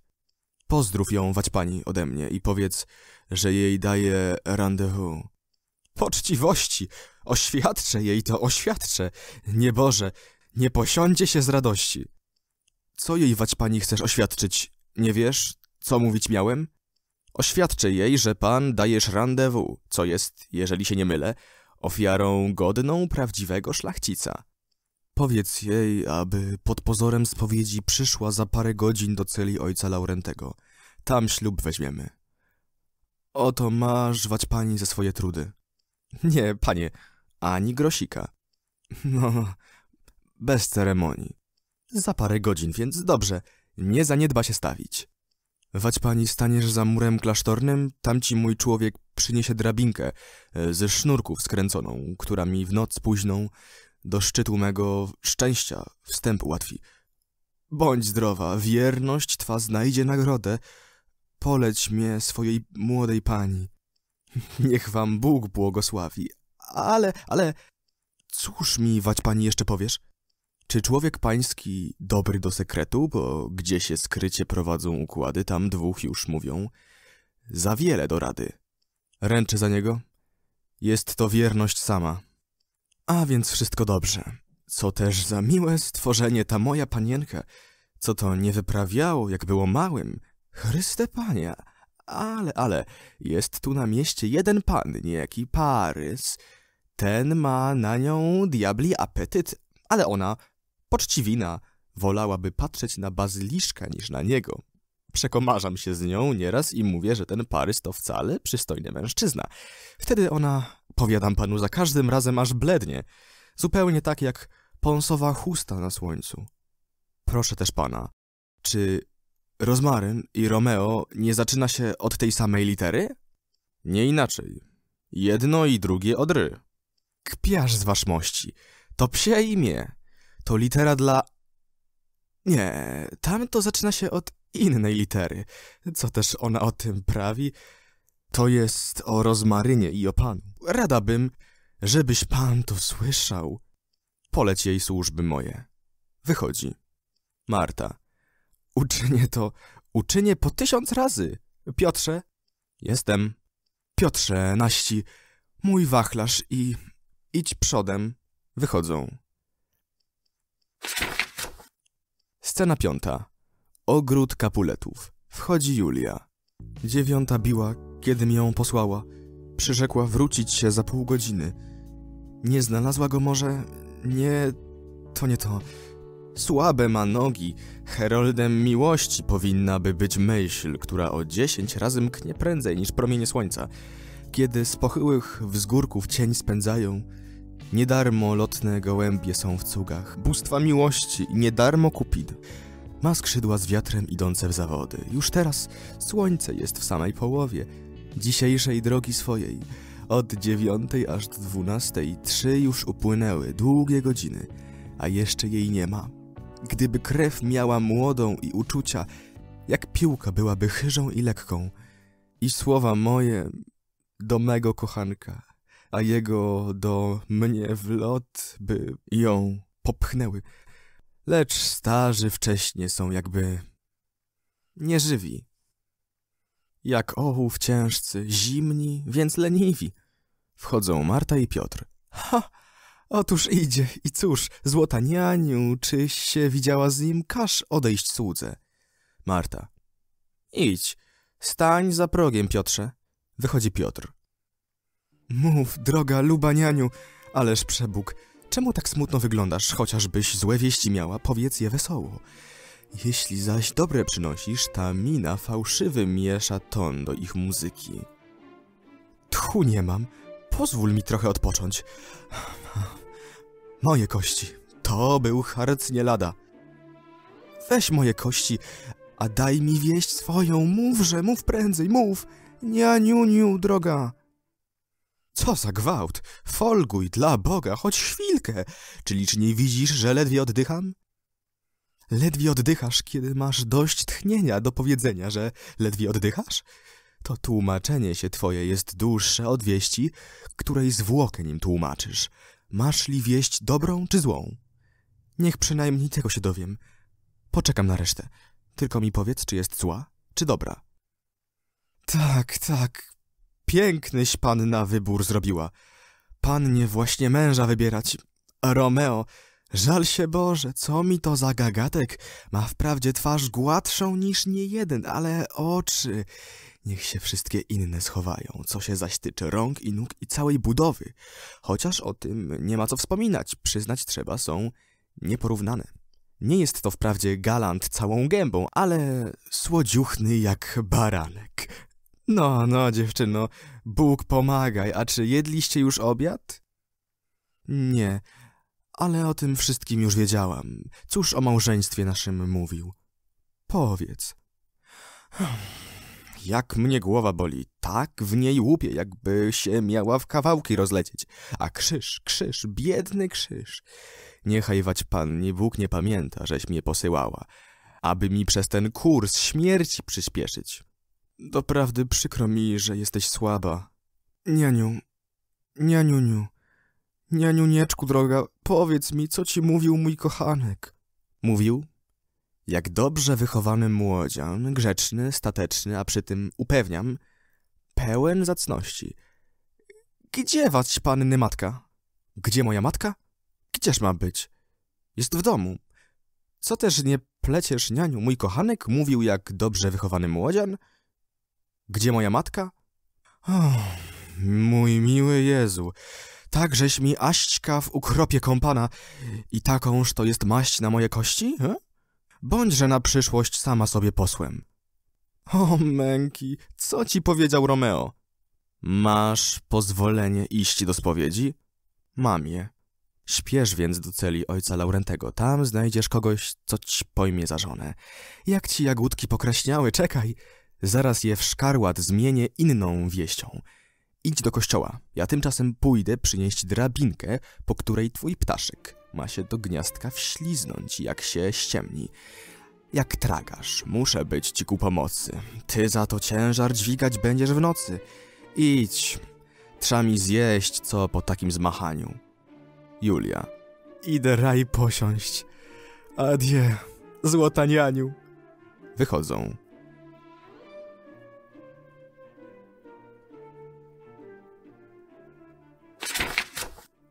Scena szósta. Cela ojca Laurentego. Ojciec Laurenty i Romeo. Ojciec Laurenty. Oby ten święty akt był miły niebu i przyszłość smutkiem nas nie ukarała. Romeo. Amen. Lecz choćby przyszedł nawał smutku, nie sprzeciw ważyłby on tej radości, jaką mnie darzy jedna przy niej chwila. Złącz tylko nasze dłonie świętym węzłem. Niech go śmierć potem przetnie, kiedy zechce. Dość, że wprzód będę mógł ją nazwać moją. Ojciec Laurenty. Gwałtownych uciech i koniec gwałtownym. Są one na kształt prochu zatlonego, co wystrzeliwszy gaśnie.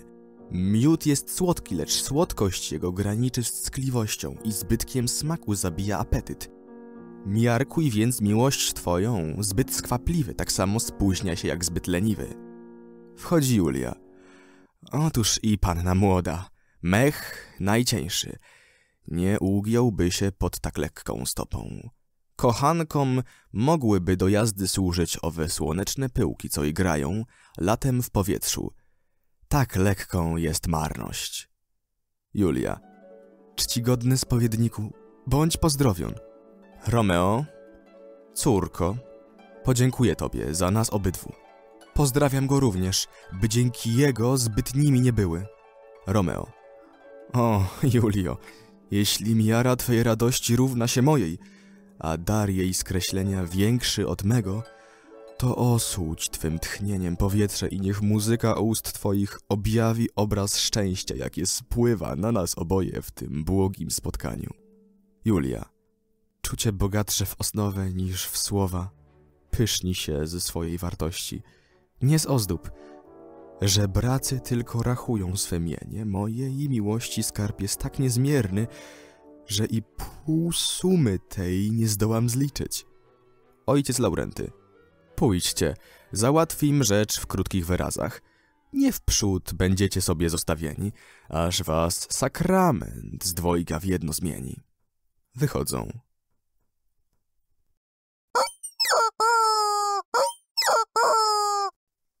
Akt trzeci.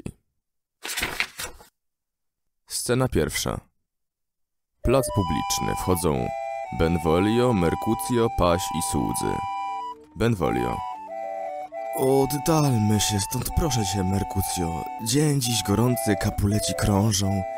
Jak ich zdybiemy, nie unikniem zajścia. Bo w tak gorące dni krew nie jest lodem. Mercutio.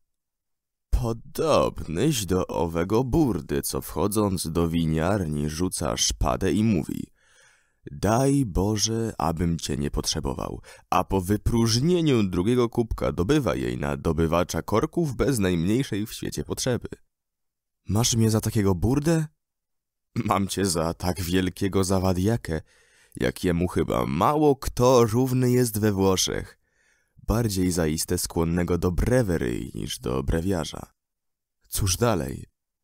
Gdybyśmy mieli dwóch takich, to byśmy wkrótce nie mieli żadnego, bo jeden by drugiego zagryzł. Tyś gotów człowieka napastować za to, że ma w brodzie jeden włos mniej lub więcej od ciebie. Tyś gotów napastować człowieka za to, że piwo pije, bo w tym upatrzysz przytyk do swoich piwnych oczu, chociaż żadne inne oko jak piwne nie upatrzyłoby w tym przytyku. W twojej głowie tak się lęgną swary jak bekasy w łuku. Toś też nieraz za to beknął i głowę ci zmyto bez ługu. Pobiłeś raz człowieka za to, że kaszlnął na ulicy i przebudził przez to twego psa, który się wysypiał przed domem. Nie napastował żeś raz krawca za to, że wdział na siebie nowy kaftan w dzień powszedni? Kogoś innego za to, że miał stare wstążki u nowych trzewików? I ty mnie chcesz moralizować za kłótliwość. Gdybym był tak skory do kłótni, jak ty jesteś, nikt by mi życia na pięć kwadransów nie zaręczył. Życie twoje przeszłoby zatem bez zaręczyn. Wchodzi Tybalt z poplecznikami swymi. Benvolio. Patrz, oto idą kapuleci. Merkucjo. Zamknij oczy. Co mi do tego? Tybalt do swoich. Pójdźcie tu, bo chcę się z nimi rozmówić. Do tamtych. Mości panowie, słowo. Merkucjo. Słowo tylko. I samo słowo. Połącz je z czymś drugim. Z pchnięciem na przykład. Znajdziesz mnie ku temu gotowym, panie, jeśli dasz okazję. Sam ją wziąć możesz bez mego dawania. Pan, jesteś w dobrej harmonii z Romeem? W harmonii? Masz li nas za muzykusów? Jeśli tak, to się nie spodziewaj słyszeć czego innego jeno dysonanse. Oto mój smyczek, zaraz ci on gotów zagrać do tańca, patrzaj go w harmonii. Benvolio. Jesteśmy w miejscu publicznym, panowie. Albo usuńcie się gdzieś na ustronie, albo też zimną krwią połóżcie tamę tej kłótni. Wszystkich oczy w nas wlepione. Merkucjo. Oczy są na to, ażeby patrzały, niech robią swoje, a my róbmy swoje. Wchodzi Romeo. Tybalt. Z panem nic nie mam do omówienia. Oto nadchodzi właśnie ten, którego szukam. Merkucjo. Jeżeli szukasz guza, mogę ręczyć, że się z nim spotkasz. Tybalt. Romeo, nienawiść moja do ciebie nie może się zdobyć na lepszy wyraz jak ten. Jesteś podły. Tybalcie, powód do kochania ciebie, jaki mam? Tłumi gniew słusznie wzbudzony taką przemową. Nie jestem ja podły. Bądź więc zdrów. Widzę, że mnie nie znasz. Smyku, nie zatrzesz takim tłumaczeniem obelg mi uczynionych. Stań więc i wyjm szpadę. Klnę się, żem nigdy obelg ci nie czynił. Sprzyjam ci, owszem, bardziej niżeś zdolny pomyśleć o tym, nie znając powodu. Uspokój się więc, zacny kapulecie, którego imię milsze mi niż moje. Merkucjo. Spokojna, nędzna, niegodna submisjo. Ale stokata, wnet jej kres położy. Dobywa szpady. Pójdź tu, Tybalcie. Pójdź tu, dusi szczurze. Czego ten człowiek chce ode mnie? Niczego, mój ty koci królu. Chcę ci wziąć tylko jedno życie z pomiędzy dziewięciu, jakie masz, abym się nim trochę popieścił, a za nowym spotkaniem uskubnąć ci. I tamte osiem, jedno po drugim. Dalej, wyciągnij za uszy szpadę z powijaka, inaczej moja gwiźnie ci koło uszu, nim wyciągniesz swoją. Służewać panu. Dobywa szpady. Romeo. Merkucjo, schowaj szpadę, jak mnie kochasz. Merkucjo. Pokaż no swoje passado. Biją się. Romeo. Benvolio, rozdziel ich. Wstydźcie się, moi panowie. Wybaczcie sobie. Tybalcie, Merkucjo. Książę wyraźnie zabronił podobnych starć na ulicach. Merkucjo, Tybalcie. Tybalt odchodzi ze swoimi. Merkucjo. Zranił mnie. Kaduk. Zabierz wasze domy. Nie wybrnę z tego, czy odszedł ten hultaj i nie oberwał nic? Benvolio. Jesteś ranny? Tak, tak. Draśniętym trochę, ale rdzennie. Gdzie mój paś? Chłopcze, biegnij po chirurga. Wychodzi paś. Romeo. Zbierz męstwo, rana nie musi być wielka. Zapewne nie tak głęboka jak studnia, ani szeroka tak jak drzwi kościelne ale wystarcza w sam raz. Ręczę za to, znajdziesz mnie jutro spokojnym jak trusia. Już się dla tego świata na nic nie zdam. Bierz licho wasze domy. Żeby taki pies, szczur, kot na śmierć zadrapał człowieka. Taki cap, taki warchoł, taki ciura, co się bić umie jak z arytmetyki. Po kiego czorta ci się było mieszać między nas? Zranił mnie pod bokiem twoim. Romeo. Chciałem. Bóg widzi jak najlepiej. Benvolio, pomóż mi wejść gdzie do domu. Słabne. Bierz licho oba wasze domy. One mnie dały na strawę robakom. Będę nią i to wnet. Kadu kwas zabierz. Wychodzą Merkucjo i Benvolio. Romeo. Ten dzielny człowiek, bliski krewny księcia i mój najlepszy przyjaciel, śmiertelny, poniósł cios za mnie, moją dobrą sławę. Tybalt znieważył, Tybalt, który nie ma godziny jeszcze, jak został mym krewnym. O, Julio, wdzięki Twem je zniewieściły i z hartu zwykłej wyzły mnie siły. Benvolio powraca. Romeo, Romeo, Merkucjo skonał, mężny duch jego uleciał wysoko, gardząc przedwcześnie swą ziemską powłoką. Dzień ten fatalny więcej takich wróży. Gdy się raz zacznie złe, zwykle trwa dłużej. Tybalt powraca. Benvolio. Oto szalony Tybalt wraca znowu. Romeo. On żyw. W triumfie, a Merkucjo trupem. Precz pobłażliwa teraz łagodności, płomienno oka furio, tymną kieruj. Tybalcie, odbierz nazad swoje podły. Zwracam ci, co mi dałeś. Duch Merkucja wznosi się ponad naszymi głowami, dopominając się za swoją, twoje i ty lub ja. Albo oba musimy legnąć. Tybalt. Nikczemny chłystku, tyś mu tu był druhem, bądźże Jowdzie. To się rozstrzygnie. Walczą. Tybalt pada. Benvolio. Romeo, uchodź, oddal się, uciekaj. Rozruch się wszczyna i Tybalt nie żyje. Nie stój jak wryty, jeśli cię schwytają, książę cię na śmierć skaże. Chroń się zatem. Jestem igraszką losu. Prędzej, prędzej. Romeo wychodzi. Wchodzą obywatele. Pierwszy obywatel. Gdzie on?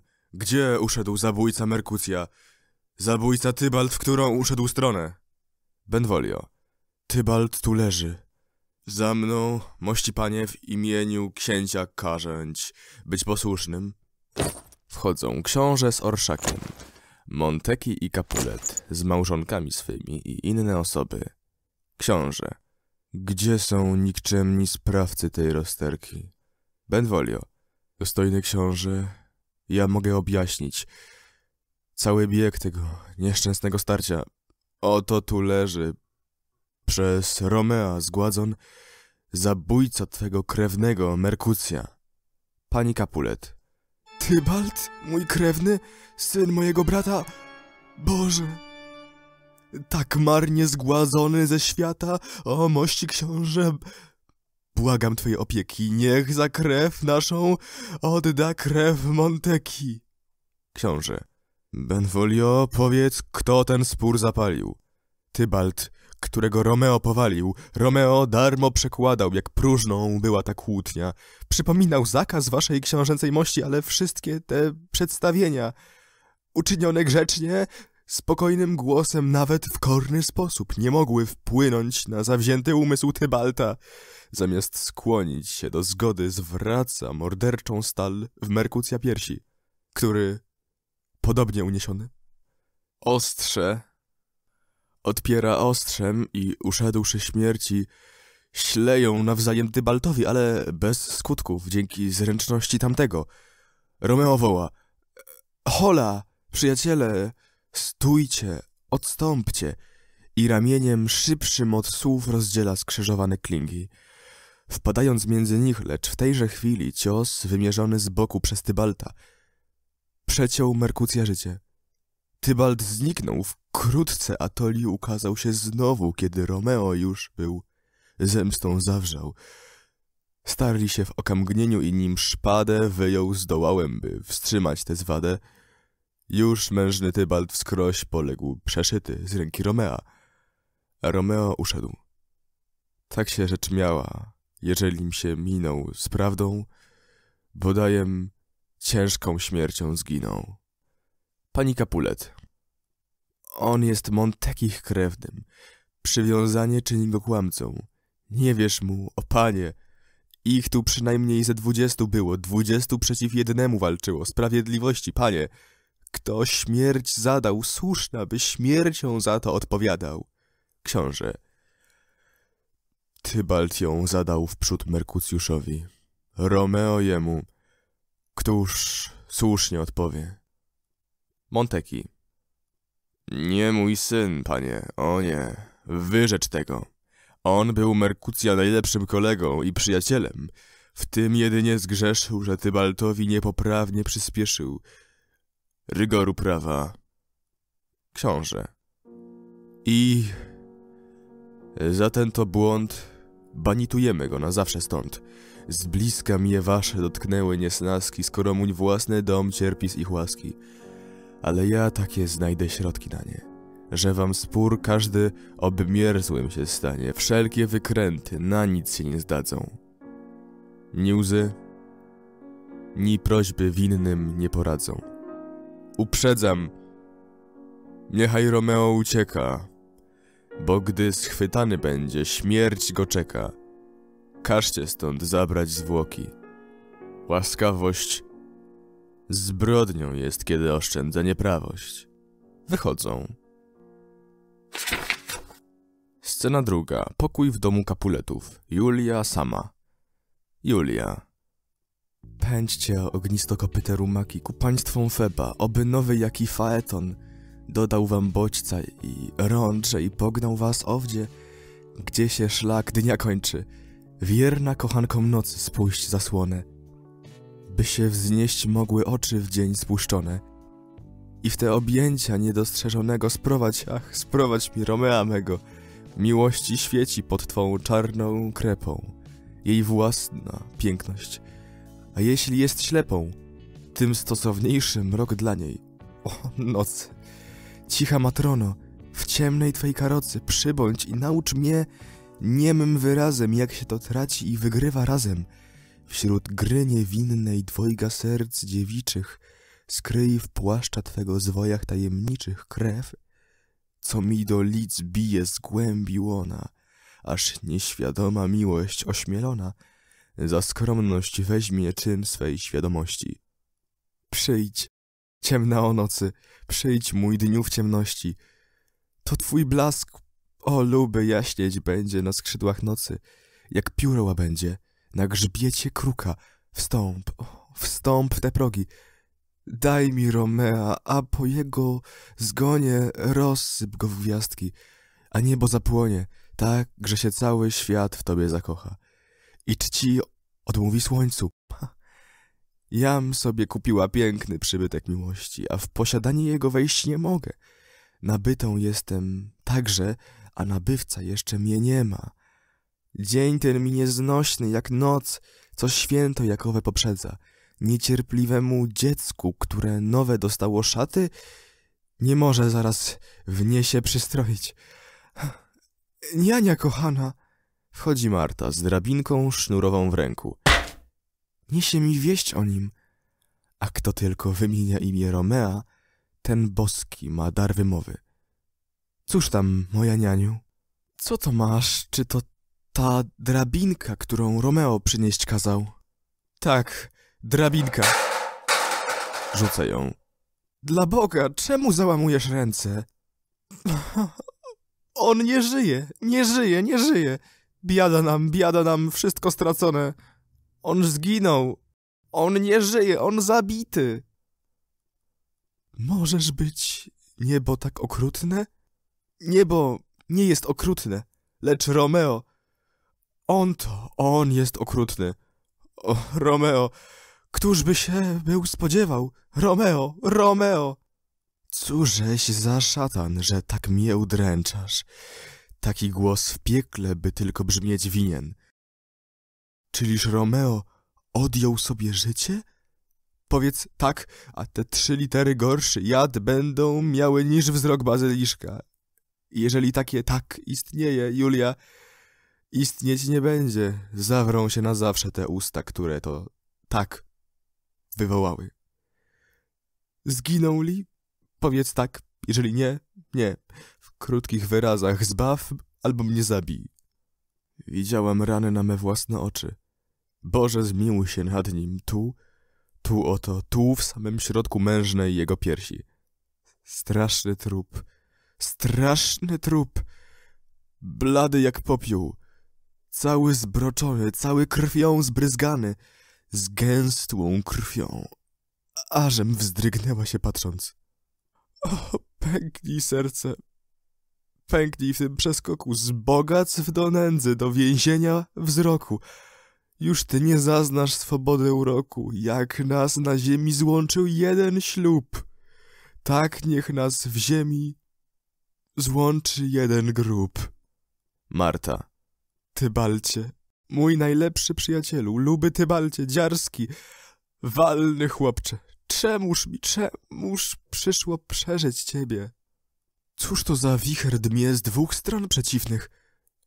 Romeo zginął i Tybalt zabity.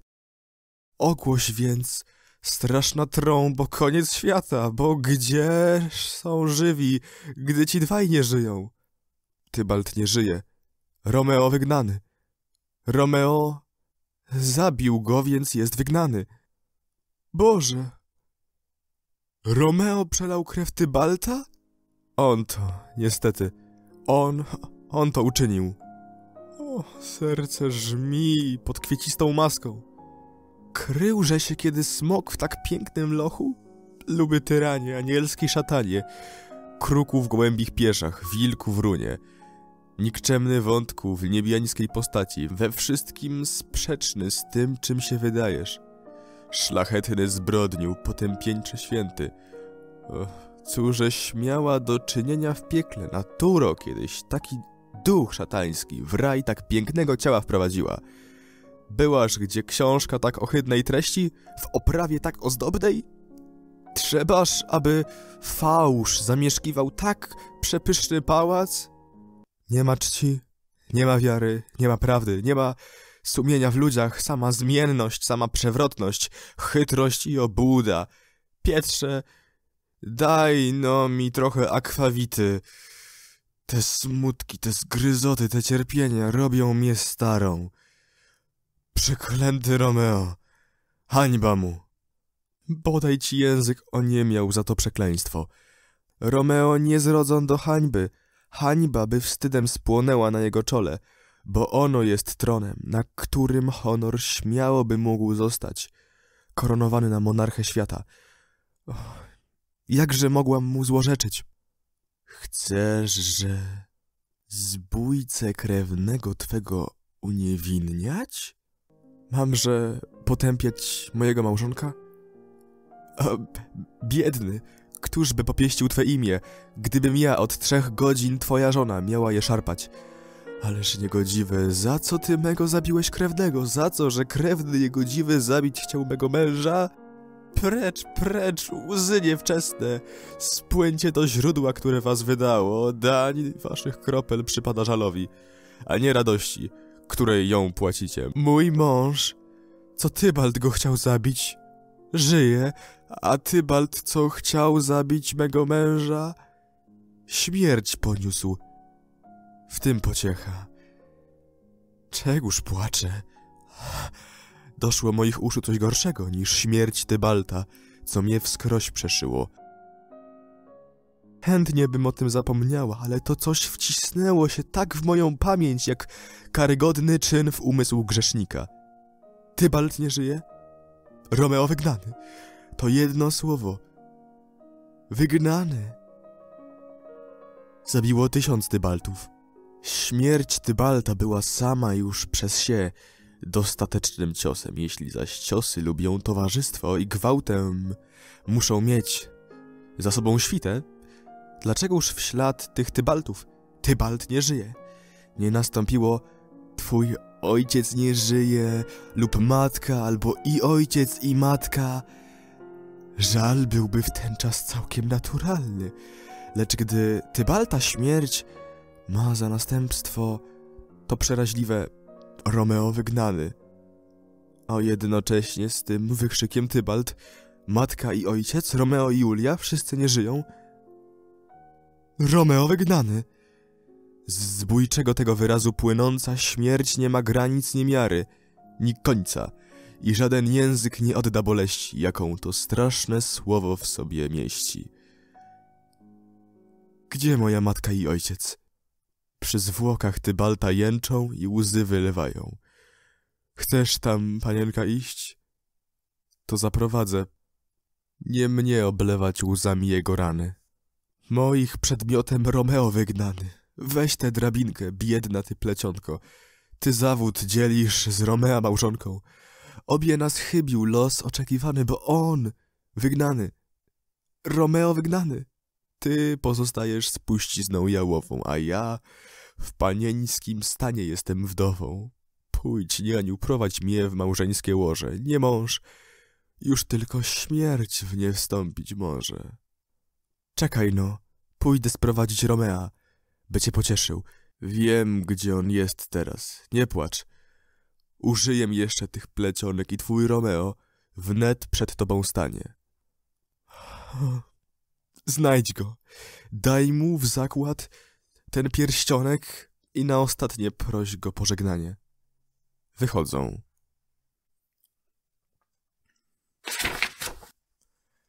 Scena trzecia. Cela ojca Laurentego. Wchodzi ojciec Laurenty i Romeo. Ojciec Laurenty, wchodząc. Romeo, pójdź tu pognębiony człeku. Smutek zakochał się w umyśle twoim i poślubiony jesteś niefortunnie. Cóż tam, cny ojcze, jakiż wyrok księcia? I jakaż dola nieznana ma zostać mą towarzyszką? Zbyt już oswojony jest mój syn rogi z takim towarzystwem przynoszęć. Wieści o wyroku księcia. Jakiż by mógł być łaskawszy, prócz śmierci? Z ust jego padło łagodniejsze słowo. Wygnanie ciała, nie śmierć ciała, wyrzekł. Wygnanie? Zmiłuj się, jeszcze śmierć dodaj. Wygnanie bowiem wygląda okropniej niż śmierć. Zaklinam cię, nie mów. Wygnanie. Wygnany jesteś z obrębu Werony. Zbierz męstwo. Świat jest długi i szeroki. Z zewnątrz Werony nie ma, nie ma świata, tylko tortury. Czyściec, piekło samo. Stąd być wygnanym jest to być wygnanym ze świata, być zaś wygnanym ze świata jest to śmierć ponieść. Wygnanie jest zatem śmiercią barwioną. Mieniąc śmierć wygnaniem, złotym toporem ucinasz mi głowę, z uśmiechem patrząc na ten cios śmiertelny. O, ciężki grzechu, o, niewdzięczne serce, błąd twój pociąga sprawa śmierć za sobą, książę, ujmując się jednak za tobą, prawo życzliwie usuwa na stronę i groźny wyraz śmierć w wygnanie zmienia. Łaska to. Ty tego nie uznajesz? Katusza to nie łaska. Tu jest niebo, gdzie Julia żyje lada pies, kot lada, mysz marna, lada nikczemne stworzenie żyje tu w niebie. Może na nią patrzeć, tylko Romeo nie może.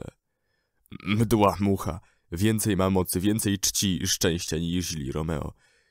Jej wolno dotykać białego cudu, drogiej ręki Julii i nieśmiertelne z ust jej kraść zbawienie. Z tych ust co pełne westalczej skromności, bez przerwy płoną i pocałowanie grzechem być sądzą. Mucha ma tę wolność, ale Romeo nie ma, on wygnany i mówisz, że wygnanie nie jest śmiercią? Nie masz li żadnej trucizny, żadnego ostrza, żadnego środka, nagłej śmierci, aby mnie zabić, tylko ten fatalny wyraz. Wygnanie? O księże, złe duchy wyją, gdy w piekle usłyszą ten wyraz. I ty masz serce, ty, święty spowiednik, rozgrzeźca grzechów i szczery przyjaciel, pasy drzeć ze mnie tym słowem wygnanie? Stój, nierozumny szaleńcze, posłuchaj. Znowu mi będziesz prawił o wygnaniu? Dam ci broń przeciw temu wyrazowi. Balsamem w przeciwnościach filozofia. W tej więc otuchę czerp, będąc wygnanym. Wygnanym jednak, o, precz z filozofią. Czyż filozofia zdoła stworzyć Julię? Przestawić miasto, zmienić wyrok księcia? Nic z niej. Bezsilna ona. Nie mów o niej. Szaleni są więc głuchymi, jak widzę. Jak mają nie być, gdy mądrzy nie widzą? Dajże mi mówić, przyjm słowa rozsądku. Nie możesz mówić tam, gdzie nic nie czujesz. Bądź jak ja młodym. Posiądź miłość Julii. Zaślub ją tylko co... Zabij Tybalta, bądź zakochanym jak ja i wygnanym, a wtedy będziesz mógł mówić, o, wtedy będziesz mógł sobie z rozpaczy rwać włosy i rzuć się na ziemię, jak ja teraz. Na grób zawczasu biorąc sobie miarę. Rzuca się na ziemię. Słychać kołatanie. Ojciec Laurenty. Cicho! Ktoś puka. Ukryj się, Romeo. Romeo. Nie, Chyba para powstała z mych jęków, jak mgła. Ukryje mnie przed ludzkim wzrokiem. Kołatanie. Ojciec Laurenty. Słyszysz? Pukają znowu. Kto tam? Powstań, powstań, Romeo. Chcesz być wziętym? Powstań. Kołatanie. Wnijdź do pracowni mojej. Zaraz, zaraz. Cóż to za upiór? Kołatanie. Idę, idę. Któż to tak na gwałt puka?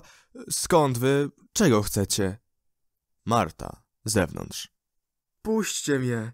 Wnet się o wszystkim dowiecie. Julia przysyła mnie. Witaj, że witaj. Wchodzi Marta. O, świątobliwy ojcze. Powiedz, proszę, gdzie jest mąż mojej pani, Romeo? Tu, na podłodze, łzami upojony. On jest właśnie w stanie mojej pani, właśnie w jej stanie. Nieszczęsna sympatio, smutne zbliżenie i ona tak leży, płacząc i łukając, szlochając i płacząc. Powstań pan, powstań, jeśli jesteś mężem, o, powstań, podnieś się przez wzgląd na Julię. Dlaczego dać się przygnębić tak srodze? Romeo. Marto. Ach, panie, wszystko na tym świecie kończy się śmiercią. Mówiłaś o Julii? Cóż się z nią dzieje? O, pewnie mnie ona ma za mordercy zakamieniałego, kiedym mógł naszych rozkoszy dzieciństwo splamić krwią jeszcze tak bliską jej własnej. Gdzie ona? Jak się miewa i co mówi? Na zawód w świeżo błysłym nam zawodzie. Nic, tylko szlocha i szlocha i szlocha. To się na łóżko rzuca, to powstaje, to woła Tybalt? To krzyczy Romeo i znowu pada. Jak gdyby to imię z śmiertelnej paszczy działa wystrzelone, miało ją zabić, tak jak jej krewnego zabiła ręka tego, co je nosi. Hmm, powiedz, powiedz mi, ojcze, przez litość, w którym zakątku tej nędznej budowy mieszka me imię, powiedz, abym zburzył to nienawistne siedlisko. Dobywa miecza. Ojciec Laurenty. Stój! Wstrzymaj! Dłoń rozpaczliwą. Czy jesteś ty mężem? Postać wskazuje twoja, że nim jesteś. Łzy twe, niewieście, dzikie twoje czyny cechują wściekłość bezrozumną zwierza. W pozornym mężu ukryta niewiasto, zwierzu przybrany w pozór tego dwojga. Ty mnie w zdumienie wprawiasz. Jakem kapłan. Myślałem, że masz więcej hartu w sobie. Ty Baltaś zabił? Chcesz zabić sam siebie? I przez haniebny ten na siebie zamach zabić chcesz także te, co żyje z tobą? Przecz tak uwłaczasz swemu urodzeniu, niebu i ziemi, skoro urodzenie, niebo i ziemia ci się śmieją. Wstydź się, krzywdzisz swą postać, swą miłość, swój rozum, boś ty jak lichwiarz bogaty w to wszystko, ale niczego tego nie używasz w sposób mogący te dary ozdobić. Kształtna twa postać jest figurą z wosku, skoro nie z męską cnotą idzie w parze. Miłość twa w gruncie czczym krzywoprzysięstwem, skoro chcesz zabić tę, którejś ją ślubił. Twój rozum, chluba kształtów i miłości, niezręczny w korzystaniu z tego dwojga. Jest jak proch w rożku płochego żołnierza, co się zapala z własnej jego winy i razi tego, którego miał bronić. Otrząś się, człowieku, Julia twoja żyje, Julia, dla której umrzeć byłeś gotów. W tymeś szczęśliwy. Tybalt chciał cię zabić, tyś jego zabił. W tym szczęśliweś także. Prawo grożące ci śmiercią zamienia śmierć na wygnanie. I w tymeś szczęśliwy. Stosy na głowie błogosławieństw dźwigasz. Szczęście najwabniej wdzięczy się do ciebie, a ty, jak dziewka zepsuta, kapryśna, dąsasz się na tę szczodrotę fortuny. Strzeż się, bo tacy marnie umierają. Teraz, że idź do żony, jak to było wprzód umówione. I pociesz niebogę. Pomnij wyjść jednak przed wart rozstawieniem, bo później przejść byś nie mógł do Mantui. Gdzie masz przebywać tak długo, aż znajdziem czas do odkrycia waszego małżeństwa, do pojednania waszych nieprzyjaciół, do przebłagania księcia, na ostatek do sprowadzenia cię nazad, z radością dziesięciokroć sto tysięcy razy większą niż teraźniejszy twój smutek. E, Wać pani, idź naprzód, pozdrów ode mnie swą panią i każ jej naglić wszystkich do spoczynku, ku czemu żal ich ułatwi namowę. Romeo przyjdzie niebawem. Marta. O panie, mogłabym całą noc stać tu i słuchać, co też to może nauczoność. Biegnę uprzedzić moją panią, że pan przyjdziesz. Romeo. Idź, prosię, niech się gotuje mnie zgromić. Oto pierścionek, który mi kazała doręczyć panu. Śpiesz się pan, już późno. Wychodzi Marta. O, jakże mi ten dar dodał otuchy. Ojciec Laurenty. Idź już. Dobranoc. A pamiętaj, synu, wyjść jeszcze dzisiaj, nim zaciągną warty, albo w przebraniu wyjść jutro o świcie. Osiądź w mantui. Jeden z naszych braci nosić ci będzie od czasu do czasu zawiadomienie o każdym wypadku, jaki na twoją korzyść tu się zdarzy. Daj rękę. Późno już. Bądź zdrów. Dobranoc. Gdyby nie radość, co mnie czeka, wczesny ten rozdział z tobą byłby zbyt bolesny. Żegnam cię, ojcze. Wychodzą.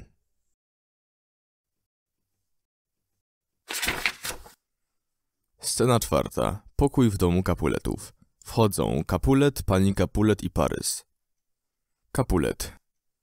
Tak smutny dotknął nas, panie, wypadek, żeśmy nie mieli czasu mówić z Julią. Krewny nasz Tybalt. Był jej nader drogim. Nam także, ale rodzi mi się, by umrzeć. Dziś ona już nie zejdzie, bo już późno. Gdyby nie twoje, hrabio, odwiedziny, ja sam bym w łóżku był już od godziny. Parys. Pora żałoby nie sprzyja zalotom. Dobranoc, pani. Poleć mnie swej córce. Pani Kapulet. Najchętniej, zaraz jutro ją wybadam. Na dziś zamknęła się, by żal swój spłakać. Kapulet. Hrabio, za miłość naszego dziecięcia mogę ci ręczyć. Mniemam, że się skłoni do mych przełożeń. Co więcej, nie wątpię. Pójdź do niej, żono, nim się spać położysz. Oznajm jej cnego Parysa zamiarem i powiedz, że jej uważasz, iż w środę. Zaczekaj, cóż to dzisiaj? Parys. Poniedziałek. Kapulet. Poniedziałek, za wcześnie we środę. Odłóżmy to na czwartek. W ten więc czwartek zostanie żoną szlachetnego hrabi. Będziesz li gotów, czy ci to dogadza? Cicho się sprawim.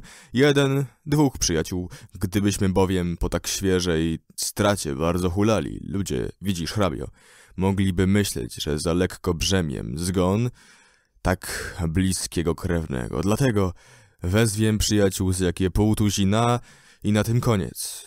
Cóż mówisz na czwartek? Radbym, o panie, żeby już był jutro. To dobrze, bądź nam zdrów. A więc we czwartek. Wstąpże do Julii, żono, nim spać pójdziesz. Przygotuj ją do ślubu. Bądź zdrów, hrabio. Światła. Hej, światła do mego pokoju. Tak, już jest późno, żebyśmy nieledwie mogli powiedzieć tak. Rano. Dobranoc. Wychodzą. Scena piąta. Pokój Julii. Wchodzą Romeo i Julia. Julia. Chcesz już iść? Jeszcze ranek nie tak bliski, słowik to, a nie skowronek się zrywa i śpiewem przeszył trwożnie ucho twoje. Co noc on śpiewa owdzie na gałązce, granatu. Wierzaj mi, że to był słowik. Romeo. Skowronek to, ów czujny herold ranku, nie słowik. Widzisz te zazdrosne smugi, co tam na wschodzie złocą chmur krawędzie? Pochodnie nocy już się wypaliły. I dzień się wspina raźnie na gór szczyty. Chcąc żyć, iść muszę lub zostając umrzeć. Owo światełko nie jest świtem, jest to jakiś meteor od słońca wysłany, aby ci służył w noc na przewodnika. I do Mantui rozjaśnił ci drogę. Zostań więc, nie masz potrzeby się śpieszyć. Niech mnie schwytają, na śmierć zaprowadzą, rad temu będę, bo Julia chce tego. Nie, ten brzask nie jest zapowiedzią ranka, to tylko blady odblask lica luny. To nie skowronek, co owdzie piosenką, bijąc w niebiosa, wznosi się nad nami. Więcej mnie względów skłania tu pozostać, niż nagle odejść. O śmierci przybywaj, chętnie cię przyjmę, bo Julia chce tego. Cóż, Luba, prawda, że jeszcze nie dnieje? O, dnieje, dnieje! Idź, spiesz się, uciekaj. Głos to skowronka grzmi tak przeraźliwie i niestrojonymi, ostrymi dźwiękami razi me ucho. Mówią, że skowronek miło wywodzi. Z tym się ma przeciwnie, bo on wywodzi nas z objęć wzajemnych. Skowronek, mówią, z obrzydłą ropuchą zamienił oczy. O, rada bym teraz, żeby był także i głos z nią zamienił. Bo ten głos w smutnej rozstania potrzebie, dzień przywołując, odwołuje ciebie. Idź już, idź, ciemność coraz to się zmniejsza, a dola nasza coraz to ciemniejsza. Wchodzi Marta. Pst, pst, Julia. Co? Marta. Starsza pani tu nadchodzi, dzień świta baczność, bo się narazicie. Wychodzi. Julia. O okno, wpuść, że dzień, a wypuść życie. Romeo, wychodząc przez okno. Bądź zdrowa, jeszcze jeden uścisk krótki. Już idziesz, o mój drogi, mój milutki. Muszę mieć co dzień wiadomość o tobie, a każda chwila równą będzie dobie. Zgrzybieję, licząc podług tej rachuby. Nim cię zobaczę znowu, o mój luby. Ilekroć będę mógł, tylekroć twoje drogą troskliwość pewnie zaspokoję. Znika za oknem. Jak myślisz, czy się znów ujrzymy kiedy? Nie wątpię o tym najmilsza. A wtedy wszystkie cierpienia nasze kwiatem tkaną, kanwą do słodkich rozmów nam się staną. Boże, przeczuwam jakąś ciężką dolę. Wydajesz mi się teraz tam na dole jak trup, z którego znikły życia ślady. Czy mnie wzrok myli?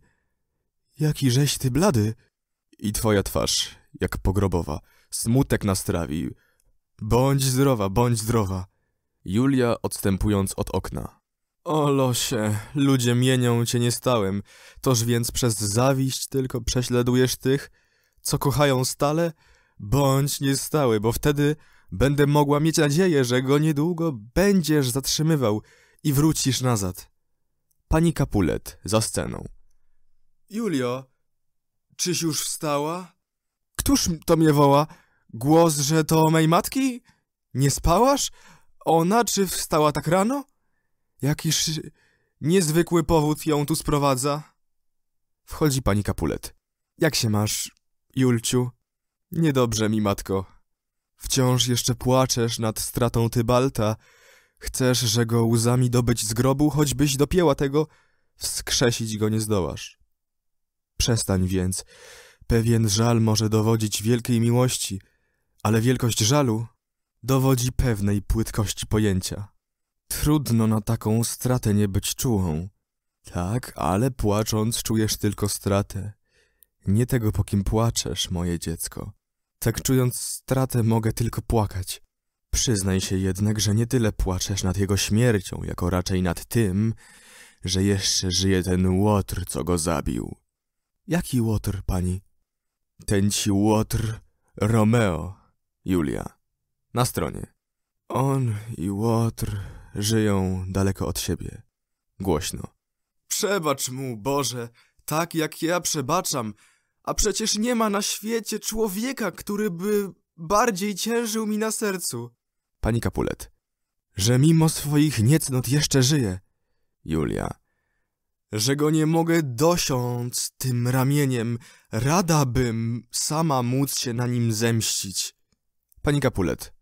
Dozna on zemsty, nie troszcz się i nie płacz. Zlecę ja pewnej osobie w Mantui, gdzie ten wygnany renegat się schronił, dać mu traktament tak zniewalający, że wnet pospieszy za Tybaltem. Wtedy będziesz, spodziewam się, zaspokojona. Nie zaspokoi mnie Romeo nigdy, dopóki tylko żyć będzie tak silnie boleść pokrewnym rozjątrza mi serce. O pani, jeśli tylko znajdziesz kogo, co się podejmie podać mu truciznę Ja ją przyrządzę, by po jej wypiciu Romeo zasnąć mógł jak najspokojniej. Jakże mnie korci słyszeć jego imię i nie móc zaraz dostać się do niego, by przywiązaniu memu do Tybalta dać odwet na tym, co go zamordował. Znajdź ty sposoby, ja znajdę człowieka.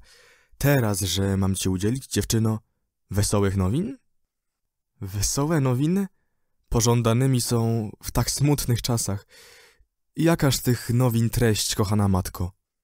Masz troskliwego ojca, moje dziecię. On to, ażeby smutek twój rozproszyć, umyślił i wyznaczył dzień na radość, tak dla cię, jak i dla mnie niespodzianą. Cóż to za radość, matko?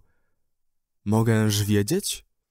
Ta, a nie inna, że w ten czwartek z rana piękny, szlachetny młody hrabia Parys macie uczynić szczęśliwą małżonką w świętego Piotra kościele. Na kościół świętego Piotra i Piotra samego. Nigdy on, nigdy tego nie uczyni. Zdumiewa mnie ten pośpiech. Mam iść za mąż, nim ten, co moim ma być mężem, zaczął starać się o mnie? Nim mi się dał poznać? Proszę cię, matko, powiedz memu ojcu, że jeszcze nie chcę iść za mąż, a gdybym koniecznie miała iść, to bym wolała pójść za Romea, który, jak wiesz dobrze, jest mi z całego serca nienawistny, niż za Parysa. To mi nowina. Wchodzi Kapulet i Marta. Pani Kapulet, to twój ojciec? Powiedz mu to sama. Zobaczymy, jak on przyjmie twą odpowiedź.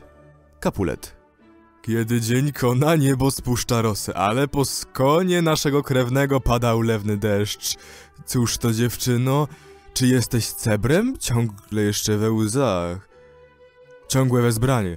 W małej swej istocie przedstawiasz obraz łodzi, morza, wiatru, bo twoje oczy jakby morze ciągle falują łzami. Biedne twoje ciało, jak łódź żegluje po tych słonych falach. Wiatrem na koniec są westchnienia twoje, które ze łzami walcząc, a łzy z nimi, jeżeli nagła nie nastąpi cisza, strzaskają twoją łódkę. I cóż, żono, czyś jej zamiary nasze objawiła? Pani Kapulet. Tak, ale nie chcę i dziękuję za nie, bodajby była z grobem zaślubiona. Kapulet. Co? Jak to? Nie chce? Nie chce? Nie chce, mówisz? Nie jest nam wdzięczna, nie pyszni się z tego, nie poczytuje sobie za szczyt szczęścia. Niegodna, żeśmy jej najgodniejszego z werońskich chłopów wybrali na męża? Nie pysznam z tego, alem wdzięczna za to, pyszna zaiste. Nie mogę być z tego, co nienawidzę, lecz wdzięczna być winnam i za nienawiść w postaci miłości. Cóż to znowu? Cóż to? Logika w spódnicy, pyszna mi wdzięczna mi, zasie niewdzięczna, jednak nie pyszna. Słuchaj, świdrzy główko, nie dziękuj wdzięcznie ni się pyszni nie pyszna, lecz zbierz swe sprytne klepki na ten czwartek, by pójść z Parysem do świętego Piotra. Albo cię każe zawlec tam na smyczy, rozumiesz? Ty blednico, ty tłumoku, lalko łojowa? Pani Kapulet. Wstydź się! Czyś oszalał? Błagam cię, ojcze, na klęczkach cię błagam, pozwól powiedzieć sobie tylko słowo. Precz, wszeszetnico, dziewko nieposłuszna, ja ci powiadam. Gotuj się w ten czwartek iść do kościoła lub nigdy, przenigdy na oczy mi się więcej nie pokazuj, nic nie mów ani piśni, ani trunij. Palce mnie świerzbią. Myśleliśmy, żono, że nas za skąpo Bóg pobłogosławił, dając nam jedno dziecko. Teraz widzę, że i to jedno jest jednym za wiele i że w niej mamy bicz Boży. Precz, flucho, cyganko jakaś. Marta, błogosław jej Boże. Jegomość grzeszy tak fukając na nią. Doprawdy? Czy tak sądzi wasza mądrość? Idźże, pytlować gębą z kumoszkami. Nie mówię bluźnierstw. Terefere kuku. Czyż mówić zbrodnia? Milcz, stara trajkotko, schowaj swój rozum na babskie sejmiki, tu niepotrzebny. Pani Kapulet. Za gorący jesteś. Na miłość boską, to trzeba oszaleć. W dzień, w noc, wieczorem, rano, w domu, w mieście, sam w towarzystwie, we śnie i na jawie ciągle i ciągle od. Rozmyślam tylko o jej zamęściu i teraz, gdym znalazł dlań oblubieńca książęcego rodu, pana rozległych majątków, młodego, ukształconego, uposażonego do kolusieńka, jak mówią, w przymioty, jakich się może od mężczyzn żądać, trzeba, ażeby mi jedna smarkata, mazgajowata gęś odpowiedziała nie chcę iść za mąż, nie mogę pokochać, jestem za młoda, wybaczcie mi, proszę. Nie chcesz iść za mąż? A to nie idź, zgoda, ale mi nie właź w oczy, żeruj sobie gdzie tylko chcesz. Byle nie w mym domu. Zważ to, pamiętaj, niezwykłym żartować. Czwartek za pasem, przyłóż dłoń do serca. Namyśl się dobrze. Będziesz li powolna, znajdziesz dobrego we mnie przyjaciela. A nie, to marniej, żebrz, jęcz, mrzej pod płotem, bo jak Bóg w niebie, nigdy cię nie uznam za moje dziecko i z mojego mienia. Nawet źdźbło nigdy ci się nie oberwie. Możesz się na to spuścić. Jestem słowny. Wychodzi. Julia. Nie masz litości w niebie, która widzi całą głębokość mojego cierpienia? Ty mnie przynajmniej nie odpychaj, matko, zwlecz to małżeństwo na miesiąc, na tydzień, albo mi pościel oblubieńcze łoże, w tymże grobowcu, w którym Tybalt leży. Pani Kapulet. Nie mów nic do mnie, nic ci nie odpowiem. Rób co chcesz. Wszystko mi obojętne. Wychodzi. O Boże, o ty, moja karmicielko, poradź mi, powiedz, jak temu zaradzić, mój mąż na ziemi, moja wiara w niebie, jakżeż wiara ma na ziemię wrócić, nim mój mąż sam mi ją powróci z nieba opuszczeniu ziemi. Daj mi radę. Niestety, że też nieba mogą nękać tak mdłą istotę jak ja. Nic nie mówisz. Nie masz, że żadnej pociechy? Żadnego na to lekarstwa? Marta. Mam ci. A to takie.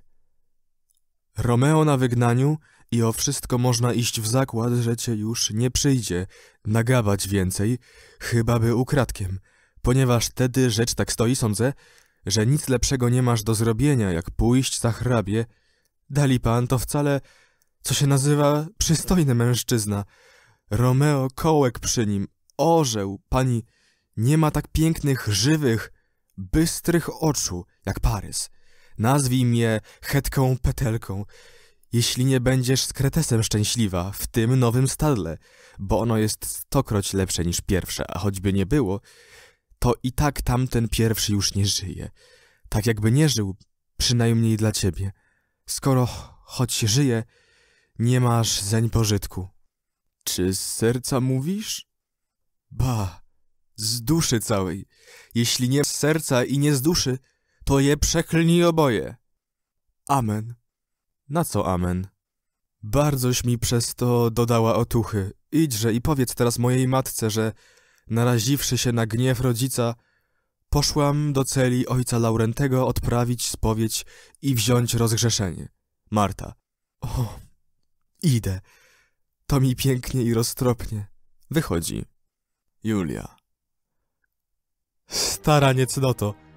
Zdradziecki szatanie. Cóż jest niegodniej, cóż jest większym grzechem? Czy tak mnie kusić do krzywoprzysięstwa, czy lżyć małżonka mego tymiż usty, którymi tyle razy go pod niebo wznosiłaś chwaląc?